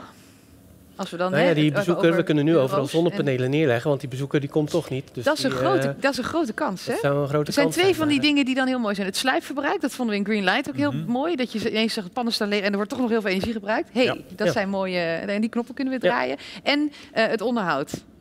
Duurzaam onderhoud kan nu goed plaatsvinden, want eh, we hebben meer ruimte. Er is Letterlijk. meer ruimte, Ja. je kan het op een efficiëntere manier kan je het doen. Ik weet nog dat de Heineken Experience ineens dacht, oeh, moeten we dan een, een aantal weken of een aantal maanden dicht? Dat kan toch niet met zoveel bezoekersstromen? Maar dat is natuurlijk een kans nu dat je die eh, pakt. Oké, Zeker. nou dat is al in ieder geval fijn. Dan gaan we nu naar jouw tweede plaatje, Andy. Ja, Uh, De- was net al heel even Hij was al heel even in beeld, de Ja. potenties. Want ja, er is natuurlijk ook gewoon heel veel mogelijk. Ja, precies. En eh, ik, ik eindig net een beetje met die, die kademuren. Hè. Die, Ja, die, de je die vervanging van die kademuren kun je natuurlijk ook gebruiken als kans om meteen wat energieoplossingen mee te nemen. Mhm. Eh, door bijvoorbeeld eh, gebruik te maken van energie uit water. Aquatomie heet dat. Ja. En daar bijvoorbeeld achter de kademuur energieopslag voor te creëren. Of een, een, een warmtenet wat eh, op lage temperatuurwarmte, zoals het heet, Mhm. Zou werken. Ehm, er ligt natuurlijk heel veel kansen ook in, eh, in, in de renovatiemogelijkheden. En Ja. dat wordt steeds beter ook. Hè? Dus Ja. monumentenzorg is, is steeds minder beperkend in, in het eh, energetisch en, en duurzaam verbeteren van Want panden. jullie hebben becijferd, dat, wat was de impact van de isolatie? Of ik heb nog zo'n zo'n grafiekje in mijn hoofd van de panden nu en als we het gaan isoleren. Ja. Ongeveer een halvering. Ja, dat, ja, precies. Bij heel veel panden kan dat een behoorlijke factor zijn. Ja, ja. Absoluut. eh, en dat ligt eraan per pand natuurlijk, hè, hoe ver dat gaat. Goed, Ehm, monumenten zijn vaak zo lek als een mandje, zeggen we dan allemaal in de Ja, precies. maar- Een hoop kieren ook en zo. Dus, ehm, maar we, laten zien, we hebben eigenlijk in die studie ook laten zien wat de kansen zijn om eh, in te grijpen. Dat zijn soms ook hybride oplossingen. Hè? Dus dat je nog eventjes ook eh, aan het gas blijft Ja. eh, voor bijvoorbeeld eh, de, de koudste winterperiode. Of om je je warm water hebt. nog te kunnen maken. Maar de rest kan al wel anders opgelost worden. En, en dan, nou kijk, ik, ik weet toevallig hoe je dat voor ogen hebt, maar voor de mensen die kijken, eh, Mhm. het leuk zo in een kader, maar uiteindelijk moet dat hele energiesysteem in zo'n gebied moet dan veranderen, moet verduurzamen. Ja. Hoe, hoe kunnen we dat gefaseerd in zo'n gebied uitrollen? Nou ja, je, je hebt een paar no regrets die je sowieso kan doen. Hè? Dus Ja. als je een pand kan gaan aanpakken, dan kan je beginnen met isoleren of je ramen vervangen, eh kierdichting. Ja. Eh, maar je kan ook andersom beginnen. Je kan ook beginnen door bijvoorbeeld een warmtepomp naast je ketel te hebben. Ja. En die warmtepomp kan bijvoorbeeld eh, een groot deel van het jaar eh, de energie voorzien. Ja. En de ketel stookt bij in de winter. Ja. Maar dat scheelt al enorm veel gasverbruik en ook in kosten voor de mensen. Om de aanpassingen in je woning of in je pand ook Precies, te doen. ja. En dan bespaar je dus geld. En met dat geld kun je weer investeren in andere dingen. Dus zo kun je geleidelijk aan dingen doen. Hmm. Zonnepanelen zijn ook eigenlijk altijd wel een no-regret als je die kan plaatsen. Ja, ja. Een van de beste investeringen die je kan doen Ja. eigenlijk met je spaargeld. Hè, dat Ja. anders geen geld waard is. Ja. En er is door Roof to Revolution een hele kaart gemaakt. Ook van waar willen we dan die zonnepanelen leggen, waar willen we groene daken groen- leggen. Ja, ja, dus dat is allemaal in kaart gebracht. Ja. En eh, dan blijkt er gewoon verschrikkelijk veel mogelijk. Waardoor Ja. het gebied eh, best wel potentie heeft dus om te verbeteren. Ja. Nou ja, en die derde kaart gaat dan daarover. Dat, Die gaan we zo zien. gaan Nog even zien, pauze. maar- En mag ik nog En- even ja? Want, Ja. want word je ook belemmerd, want we hebben het over monumenten. Hè? Ja. De monumenten eh, kenmerken zich ook door een bepaalde uitstraling die we Ja. graag Ja. vast willen houden. Ja. Ja. Ehm, je hebt het even over het glas. Het glas, ja, je hebt monumentenglas, wat een grotere eh, isolatiegraad heeft. Maar Ja. Ja. word je daar niet ontzettend in beperkt dat we, dat we wel alles kunnen berekenen wat de mogelijkheden zijn, maar dat de uitvoering eigenlijk niet kan Ja. plaatsvinden? Nou, d- er zijn inderdaad zaken die je niet zomaar kan aanpakken. eh, maar er is tegenwoordig best veel meer veel mogelijk. Eh, je hebt dat vacuümglas bijvoorbeeld, hè, wat eh, ter Ja. vervanging van ander glas kan. Mhm. Kan het in dezelfde kozijnen en, en roeden en zo gepast worden. Ehm, het is soms wat lastiger als, als eh, er echt traditioneel glas in zit, wat een beetje bobbelig is. Hè? Dat Ja, ja. echt 17e, glas, ja. Dat is prachtig om te zien. Eh, dan mag je vaak je raam niet vervangen. Je kan hoogstens misschien een achterzet-raam doen. Dus dat zijn Ja. lastige dingen. Ja. Ja. Maar eh, je hebt ook andere klimaatconcepten. Hè? Je hoeft niet per se een gebouw, elk gebouw in te pakken. Je hoeft ze niet eh, eh, lage temperatuurverwarming te geven. Je kan de Mm. radiatoren vaak laten zitten. Ja. En als je dan iets kan doen aan je, aan je eh, warmte verliezen in zo'n pand, dan kun je al bijvoorbeeld naar middentemperatuur. Ja. En de middentemperatuur kan al door een warmtepomp geregeld Precies. worden. Precies. En dat scheelt een heleboel. Dus dan heb je in feite je radiatoren die, die werken nog steeds hetzelfde. Ehm, dus er zijn heel veel zaken wel mogelijk. Ook andere vormen van binnenverwarming. Hè. Je kan ook Ja. wandverwarming Ja. gaan gebruiken. Ja. Ja. En dan hoef je, als je een gebouw niet helemaal kan inpakken, maar je maakt wel Ja. wandverwarming, dan eh, houdt die wandverwarming ook de muur warm en dan verlies je veel minder warmte naar buiten toe. Ja.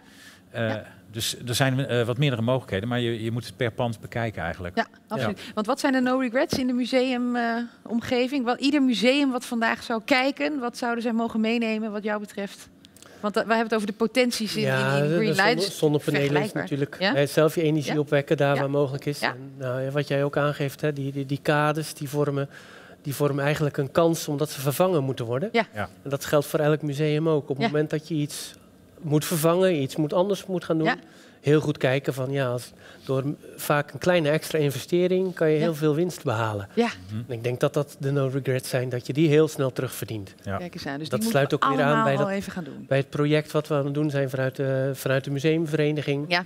Ehm, kijken naar ja, wat, wanneer is het natuurlijke moment om dingen te vervangen. Hmm. Je moet niet, als ik vorige week een nieuwe cv-ketel heb gekocht, moet ik hem niet morgen eruit gooien omdat Nee. er een beter op de markt Nee. is. Maar wat is nou een goed moment zodat je met lage investeringen een hoog rendement kunt De gaan grootste halen? klap voor... eh, En Volgens mij is dat altijd blijven kijken. Ja. Dus gooi geen dingen weg die Ja. langer mee kunnen. Ja. Ehm, Maar wel goed, efficiënt blijven functioneren. Hmm. En kijk naar de goede momenten om dingen te vervangen. En, ik, en ik, ik denk ook, Frits, dat jullie kijken naar wat zijn nou de potenties op zo'n plek van, eh, van een museum. Hè? Als je Ja. hoort dat eh, dat het museum, museum in de Peel dat het ook WKO heeft gebruikt, dat er zonnepanelen liggen. Dat zijn natuurlijk studies die je van tevoren kan doen. Hè? Ja. Eh, om om Ja. de, de totale range aan potenties van een Ja. bepaalde plek Ja. eh, goed te kunnen benutten. Ja. En dat hebben wij ook gedaan in het Greenlight District project. Gewoon heel gekeken wat zijn bijvoorbeeld restwarmtebronnen, eh, Ja. waar kun je goed zonnepanelen leggen. Je noemde de, eh, de kaart van Rooftop Revolution al. Ja. Eh, maar ook bijvoorbeeld bodem, waar kun je bodemenergie Ja. Gebruiken. Ja. Eh, Ja. Is goed in kaart Want gebracht. uiteindelijk alleen maar eh, de grachten gebruiken is niet de totale, eh, de totale oplossing voor Nee, het hele gebied. nee, het is een combinatie is en, altijd. en, en, Ja. en. Ja. En dat is ook altijd Ja. wel, we hadden het in het vorige gesprek ook over, hè, van kunnen mensen spijt krijgen? Ja, we moeten ook af en toe een foutje leren, durven maken. We Ja. moeten vooruit, maar er kan heel veel. En eigenlijk kunnen er heel veel oplossingen ook naast elkaar. En de ene oplossing Ja. is niet per se voor de ander geschikt, maar Nee. we kunnen wel met z'n allen uitwisselen en daarvan leren van elkaar. Dat, dat denk ik ook. En ik denk dat Ja. wat heel belangrijk is, is dat je altijd blijft kijken. Dus Ja. altijd, eh, weet je, je kan eh, het licht uitdoen helpt. Mhm. Eh, en dat kan je automatiseren door Ja. er in je gebouw wat te doen dat er ruimtedetectie in zit. ja. Maar je kan ook aan de gebruikers vragen om het lichtknopje gewoon om te doen. Dan kan je morgen ge- dan kan je zo, me- zo meteen mee beginnen eigenlijk. En, Ja. eh, Ja. Datzelfde geldt voor verwarmen. Hè. Er werd net ook verteld over eh, hoe we van ruimteverwarming naar huisverwarming gingen. Ja. dus Ja. je moet jezelf wel de vraag stellen van ja, wil ik dat dan wel als ik Ja. die kamer... Precies. Als ik mijn slaapkamer, die gebruik ik s'nachts. En ik vind het fijn als ik naar mijn slaapkamer ga, of- dat ja. het daar wat warm is. Maar dat betekent niet dat hij de hele dag verwarming aan Nee. hoeft te staan. Nee, absoluut. Dus Nee. Absoluut. Ja, dat is ook wel een leuke, want dat, dat maakt bijvoorbeeld gebruik van infraroodpanelen Ja. eh, voor met name oude panden. Hè, waar je Mhm. vroeger Ja. ook van die gaskacheltjes had in verschillende kamertjes. Mhm. Die infraroodpanelen, die hang je natuurlijk vooral op plekken waar mensen echt zitten. Ja. Die stralen Ja. je aan en Ja. daar word je warm van. En dan kan Zo'n plek als hier zou perfect zijn, infrarood. Hoewel nu is het warm genoeg met de lampjes die we hebben. Er staat hier iets anders te blazen. Maar, maar inderdaad, dat zou hier prima kunnen. En, eh, dus je hoeft ook niet een heel pand compleet te verwarmen. Dat, Absoluut dat is ook niet. zo. Absoluut. Dat, misschien is dat ook een andere manier. We zijn een beetje te luxe eh, geworden met eh, alles maar verwarmen in Ja. een heel huis. Ja. Waardoor Ja. je dus onnodig veel energie gebruikt. En waar mensen vaak nu niet zoveel over nadenken. We moeten veel meer gaan koelen in de toekomst. Ja, dat ook. Ja. Ja. Ik hoop het niet. Dus dat, ho- ja, dat hoop ik niet. Maar Als we het goed doen, dan hoeven Ja, we niet meer te koelen. Dat is waar, dat is waar. Als we nu allemaal stoppen, dan, eh, Ja. dan, dan gaan we het over koeling hebben. Maar, eh, Ja, absoluut. ja. Ehm, Andy, wat, Ja. eh, wa- wanneer, wat is wat jou betreft het, het spannendste wat jullie het komende jaar in Greenlight gaan realiseren? Wat we allemaal zouden moeten volgen? Ehm, nou ja, we hebben het vooronderzoek al gedaan. Hè? Het energetisch eh, onderzoek van eh, hoe is de huidige situatie, wat, is, eh, hoe kan Ja. je besparen, hoe kan je restwarmte hergebruiken en wat zijn de duurzame energiepotenties. Ja. Ehm, we hebben al een paar dingen voorgesteld. Hè? Dat Ja. zie je ook op onze derde kaart, die Ja. Ah, groene zit kaart. nu in beeld, denk ik. Nee, dit is de potentiekaart. Oh, de potentie. De toekomst- Ja, de snel toekomstkaart. even ja. naar de toekomstkaart. Ja, ja, dus wat we hier hebben voorgesteld, eh, eh, en een van de belangrijkste voorstellen is eigenlijk dat we aan, aan lage temperatuurnetten Ja. hier zouden moeten werken, Ja. waar misschien niet het hele gebied, maar wel per stukje Ja. panden aangekoppeld Een kunnen worden. modulair systeem wat uitbreidbaar zou zijn. Ja, en wa- wat kan worden gevoed bijvoorbeeld de restwarmte van een supermarkt, door aquathermie, door bodemwarmte, door restwarmte van de bijenkorf of wat dan ook. Ja. Zonne-energie. Ja. Ehm, en daarmee kun je de woning al voorzien van een betere eh, temperatuur van, van water. Ja. Eh, dus dat vind ik een hele spannende. En dat Ja. zouden we kunnen koppelen aan de eh kadermuurvervanging. Ja, dus die Eh, want- kaders. want zo, zo snel kan je natuurlijk niet zomaar een pijp kwijt. En, Ja. Dus en voor volgend jaar zitten we hier en hebben we hopelijk de pilot van de kaders eh, gerealiseerd. Of in Nou, ieder geval wel... ik denk dat we daar, ja, daar, moeten we mee gaan experimenteren. Ik denk Ja. niet dat, we, dat het netwerk er al ligt hoor. Eh, Nee. maar, maar we hebben ook al gezien in de foto's daar straks de aardgasvrije eh, appartementen. Ja. En daar kunnen natuurlijk veel meer van komen. dus Absoluut. Die, ofwel- zijn al gerealiseerd natuurlijk. Het die grachtenpand bijvoorbeeld een warmtepompsysteem hebben of een infraroodsysteem. Ja. Ja. Ehm, maar ik denk dat er nog grotere klappen te maken zijn met dat eh, eh, systeem dat op wijkniveau, buurtniveau Precies. worden aangelegd. Ja, Samen met seizoensopslag, met aquathermie. Ja. Kunnen winters ook weer Ja, schaatsen. en, eh, precies, in de grachten. Ja, geweldig. Ja. Ja. Ja. want we zeggen altijd als het hier kan, kan het overal. Wat, Ja. wat, eh, ehm, wat gaan we van de museumsector verwachten?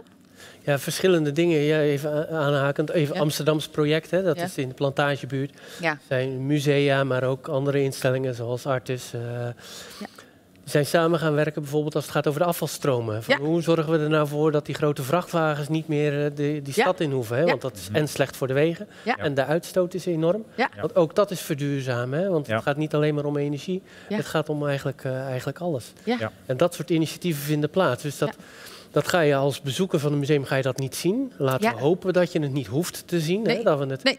Ja. het niveau dat we hebben. want We hebben natuurlijk een enorm welvaartsniveau. Dat we dat in stand kunnen houden.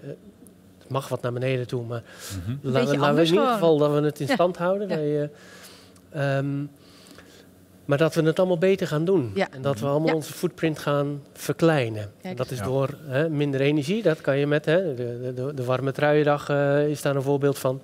Maar dat geldt dus ook voor als je in een korte broek, hè, bij ons lopen ze ook in een korte broek door het eh, museum heen. Dan hoeft het geen 21 graden te zijn, Nee. want dan is het koud. Dan mag het ook 23 graden zijn, want dat is iets comfortabeler. Precies. En dan hoef ik dus minder te koelen. Kijk eens aan. En als we daar een goede modus in kunnen vinden, en ik denk dat eh, ja, dat gebeurt. Hè, er Dan kan heel ook de toekomstige generatie van onze kunst blijven genieten. Dat waren mijn woorden. nee, dat zit natuurlijk in ons DNA. Wij bewaren Absoluut. alles voor de toekomstige generaties. Absoluut. Dus Ja. ook de omgeving waar je van die mooie kunst kunt genieten. Absoluut. Ja. Frits, Andy, ontzettend veel dank voor dit eh, inkijkje in deze twee bijzondere nou ja, gebieden, sectoren, districten, hoe mag ik het noemen? Ja. We gaan veel verwachten van Green Light District en van eh, de musea. Zeker. Super. Blijf ons volgen. Ja. Lieve mensen, we zijn bijna aan het einde gekomen van de talkshow Duurzaam Erfgoed 2021. Terwijl wij hier met elkaar in discussie waren, is er druk gedicht. Eh Atta de Tolk, hij staat al klaar voor ons. Hij heeft voor ons ehm, eh, een kleine bespiegeling eh, geschreven van alles wat hier vandaag over tafel vloog. We gaan luisteren naar Atta de Tolk. Dankjewel. Er hoort een bepaalde verantwoordelijkheid bij het werken met erfgoed. Monumenten mogen beschermd, dan behouden ze die engelengloed. Die mystiek van de dagen die ons hebben verlaten. Wat zouden de verhalen zijn als al die muren konden praten? Die zorgzaamheid voor de bescherming gaat niet alleen om de bouwstenen. Dit gaat om een hartslag waarvan we de instandhouding serieus moeten nemen. Welke uitdagingen wachten ons op en groeien die door tot problemen? Of zijn die, als we onze tanden erin zetten, met een paar happen verdwenen? Een gesprek. Waar staan we in deze sector? Moeten we linksaf, rechtsaf of gewoon rechtdoor? De waarheid is dat het gaat om doen en durven. Met frisse energie kijken wat onze energie blijft opslurpen. Ben je eigenaar van de energiebesparing, krijg je daar een draagvlak bij? Wat is de juiste aanpak voor verschillende lagen in de maatschappij? Is ons erfgoed duurzaam of meer neutraal? Gelukkig is er enorme interesse in het verhaal. Kampioen energietransitie, dat klinkt natuurlijk prachtig. Moeten we voor inspiratie terug in de tijd? Het is nog geen 1988. Het wordt beter, het wordt mooier als we ons met z'n allen inzetten om de taken te voltooien. Voordat men het uitroept en juicht, begint het vaak met smoezen. Vroeger durfde bijna niemand te zeggen: het moet eigenlijk groener. Alsof we zitten in een tijdmachine. We hoefden niet oneindig lang te wachten. Straks is alles groener en duurzamer, inclusief de groene grachten. Goedkoop is duurzaam. Goedkoop is duurkoop. Duurzaamheid is niet duur. We moeten doorberekenend kijken naar de winst. Verander de investeringscultuur. Op papier is het mooi, leuk en aardig. Hoe we dit moeten laten leven is geen moeilijk raadsel. We moeten het bespreken zodat de behoefte groeit aan de keukentafel op een manier dat een duurzame investering niet langer de beurs thuis beschadigt. Het paradijs op aarde begint in Nederland. Gun dat wat we hebben toch een tweede kans. Dat het gebouwd is in het verleden maakt het nog niet overbodig. Verduurzaming heeft ook een geschiedenis nodig. Dat we mogen doorbouwen op wat er al is, zal later in de boeken als een overwinning geschreven staan. Gebouwen ademen weer wanneer we men herinneren aan de herinneringen eraan. Hier is geleefd. En nog steeds is het met de nodige modernisering een feest. Een feest waarvoor mensen mogen worden uitgenodigd. Zodat er een lange afterparty zal zijn waar ontzettend wordt nagenoten. Mits we in de sfeer blijven investeren. Laten we het nog leuker maken om te innoveren. Mik op het mooie van de missie, niet op eventuele misère. Wees de adequate acrobaat in, de, in het circus van het circulaire. Maak gebruik van de show van de buren door te gluren. Doe het met passie, zodat het innerlijke vuur eeuwig kan duren. Als wezen zijn we als mens toch zo sociaal. Leer van de buren en vraag: hoe maak je het mogelijk? En hoe heb je het betaald? Waar liggen de valkuilen? Heb je je doelen behaald? Het begint klein en wordt groot. Hoe internationaal zetten we trends? Neem als voorbeeld, nu shoppen we lokaal. Elke stap is belangrijk. De grootte daarvan maakt niet uit. Het is een mindset. Neem dat zelfs mee in het materiaal dat je gebruikt. Het project dat we samen ontwikkelen is het bewustzijn dat wordt gebouwd. De spirit van Gideon is wat de troepen overeind houdt. Hou je vizier op de overwinning, dan bezwijk je zelfs onder de druk niet. Dat geldt bijvoorbeeld ook voor de CO2-reductie. Die te beklimmen berg beklim je ook op inzet. Dat doe je ook niet direct, maar via een slingerweg. Geniet van het uitzicht dat je ziet onderweg, de gedachte wat niet kan en ja maar, die moeten worden stopgezet. Wat inspirerend dat er qua collectieve initiatieven zoveel bezig is. De voorlopers van de verandering gaan gewoon staan op de zeepkist. Handen uit de mouwen, creatief omgaan met de situatie die er is. Zo ga je van red light naar het green light district. Figuurlijk vol gas bij het groene licht. We zijn helden als dat wat we doen de wereld een beetje verlicht. Een betere wereld begint in de spiegel. Ontwikkel jezelf constant. Wees alsjeblieft flexibel. Wees niet bang voor de uitdaging die op je wacht. Je bent geen held door wat je vertelt, maar door je gedrag. Het plukken van laaghangend fruit is zeker niet verkeerd. Welke kersen zijn het verst? Welke opties kies je het eerst? Zorgen dat je eindvisie niet door druk wordt beperkt. Dat verdient een plek in het museum. Dat is namelijk een levend kunstwerk. Om te zorgen dat onze doelen qua erfgoedbescherming worden gehaald, draait het vooral om de mindset. Maak erfgoed monumentaal. Dankjewel. Ja, ik zou willen klappen, maar dat valt een beetje in het niet in deze studio. Atta, ontzettend veel dank voor deze prachtige woorden. Heel, Heel erg graag gedaan. gedaan. Dankjewel. Dames en heren, we zijn aan het eind gekomen van deze fantastische middag. Ik wil graag het moment even benutten om eh, een hele grote groep mensen te bedanken. Eh, allereerst natuurlijk alle tafelgasten die hier vandaag hebben plaatsgenomen, inclusief Atta als onze dichter. Ehm, de organiserende partijen, de routekaart van het verduurzamen van monumenten. Dat zijn tientallen partijen inmiddels. Eh, je kunt je daar overigens bij aansluiten als je mee wil doen. De provincie Noord-Holland, het Nationaal Restauratiefonds, de Rijksdienst voor Cultureel Erfgoed en de Groene Grachten. Natuurlijk iedereen van de productie van Baselmans die hier vandaag is en Sugar City. Ehm, en jullie thuis. Zonder jullie geen duurzame toekomst. Ik ga de woorden van Atta, ik kan ze niet herhalen. Eh, we kunnen ze terugluisteren. Dit was de inspirerende afsluiter die we natuurlijk gehoopt hadden met z'n allen. Ik hoop dat we nu met z'n allen nog veel meer in de versnelling gaan. Dat we het komende jaar een heleboel erfgoed gaan verduurzamen. Dat we elkaar weten te vinden.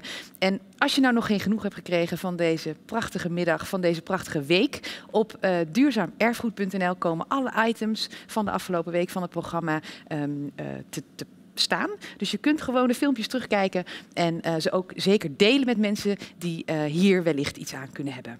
Dames en heren, dit was de week van het Duurzaam Erfgoed 2021. Graag tot volgend jaar.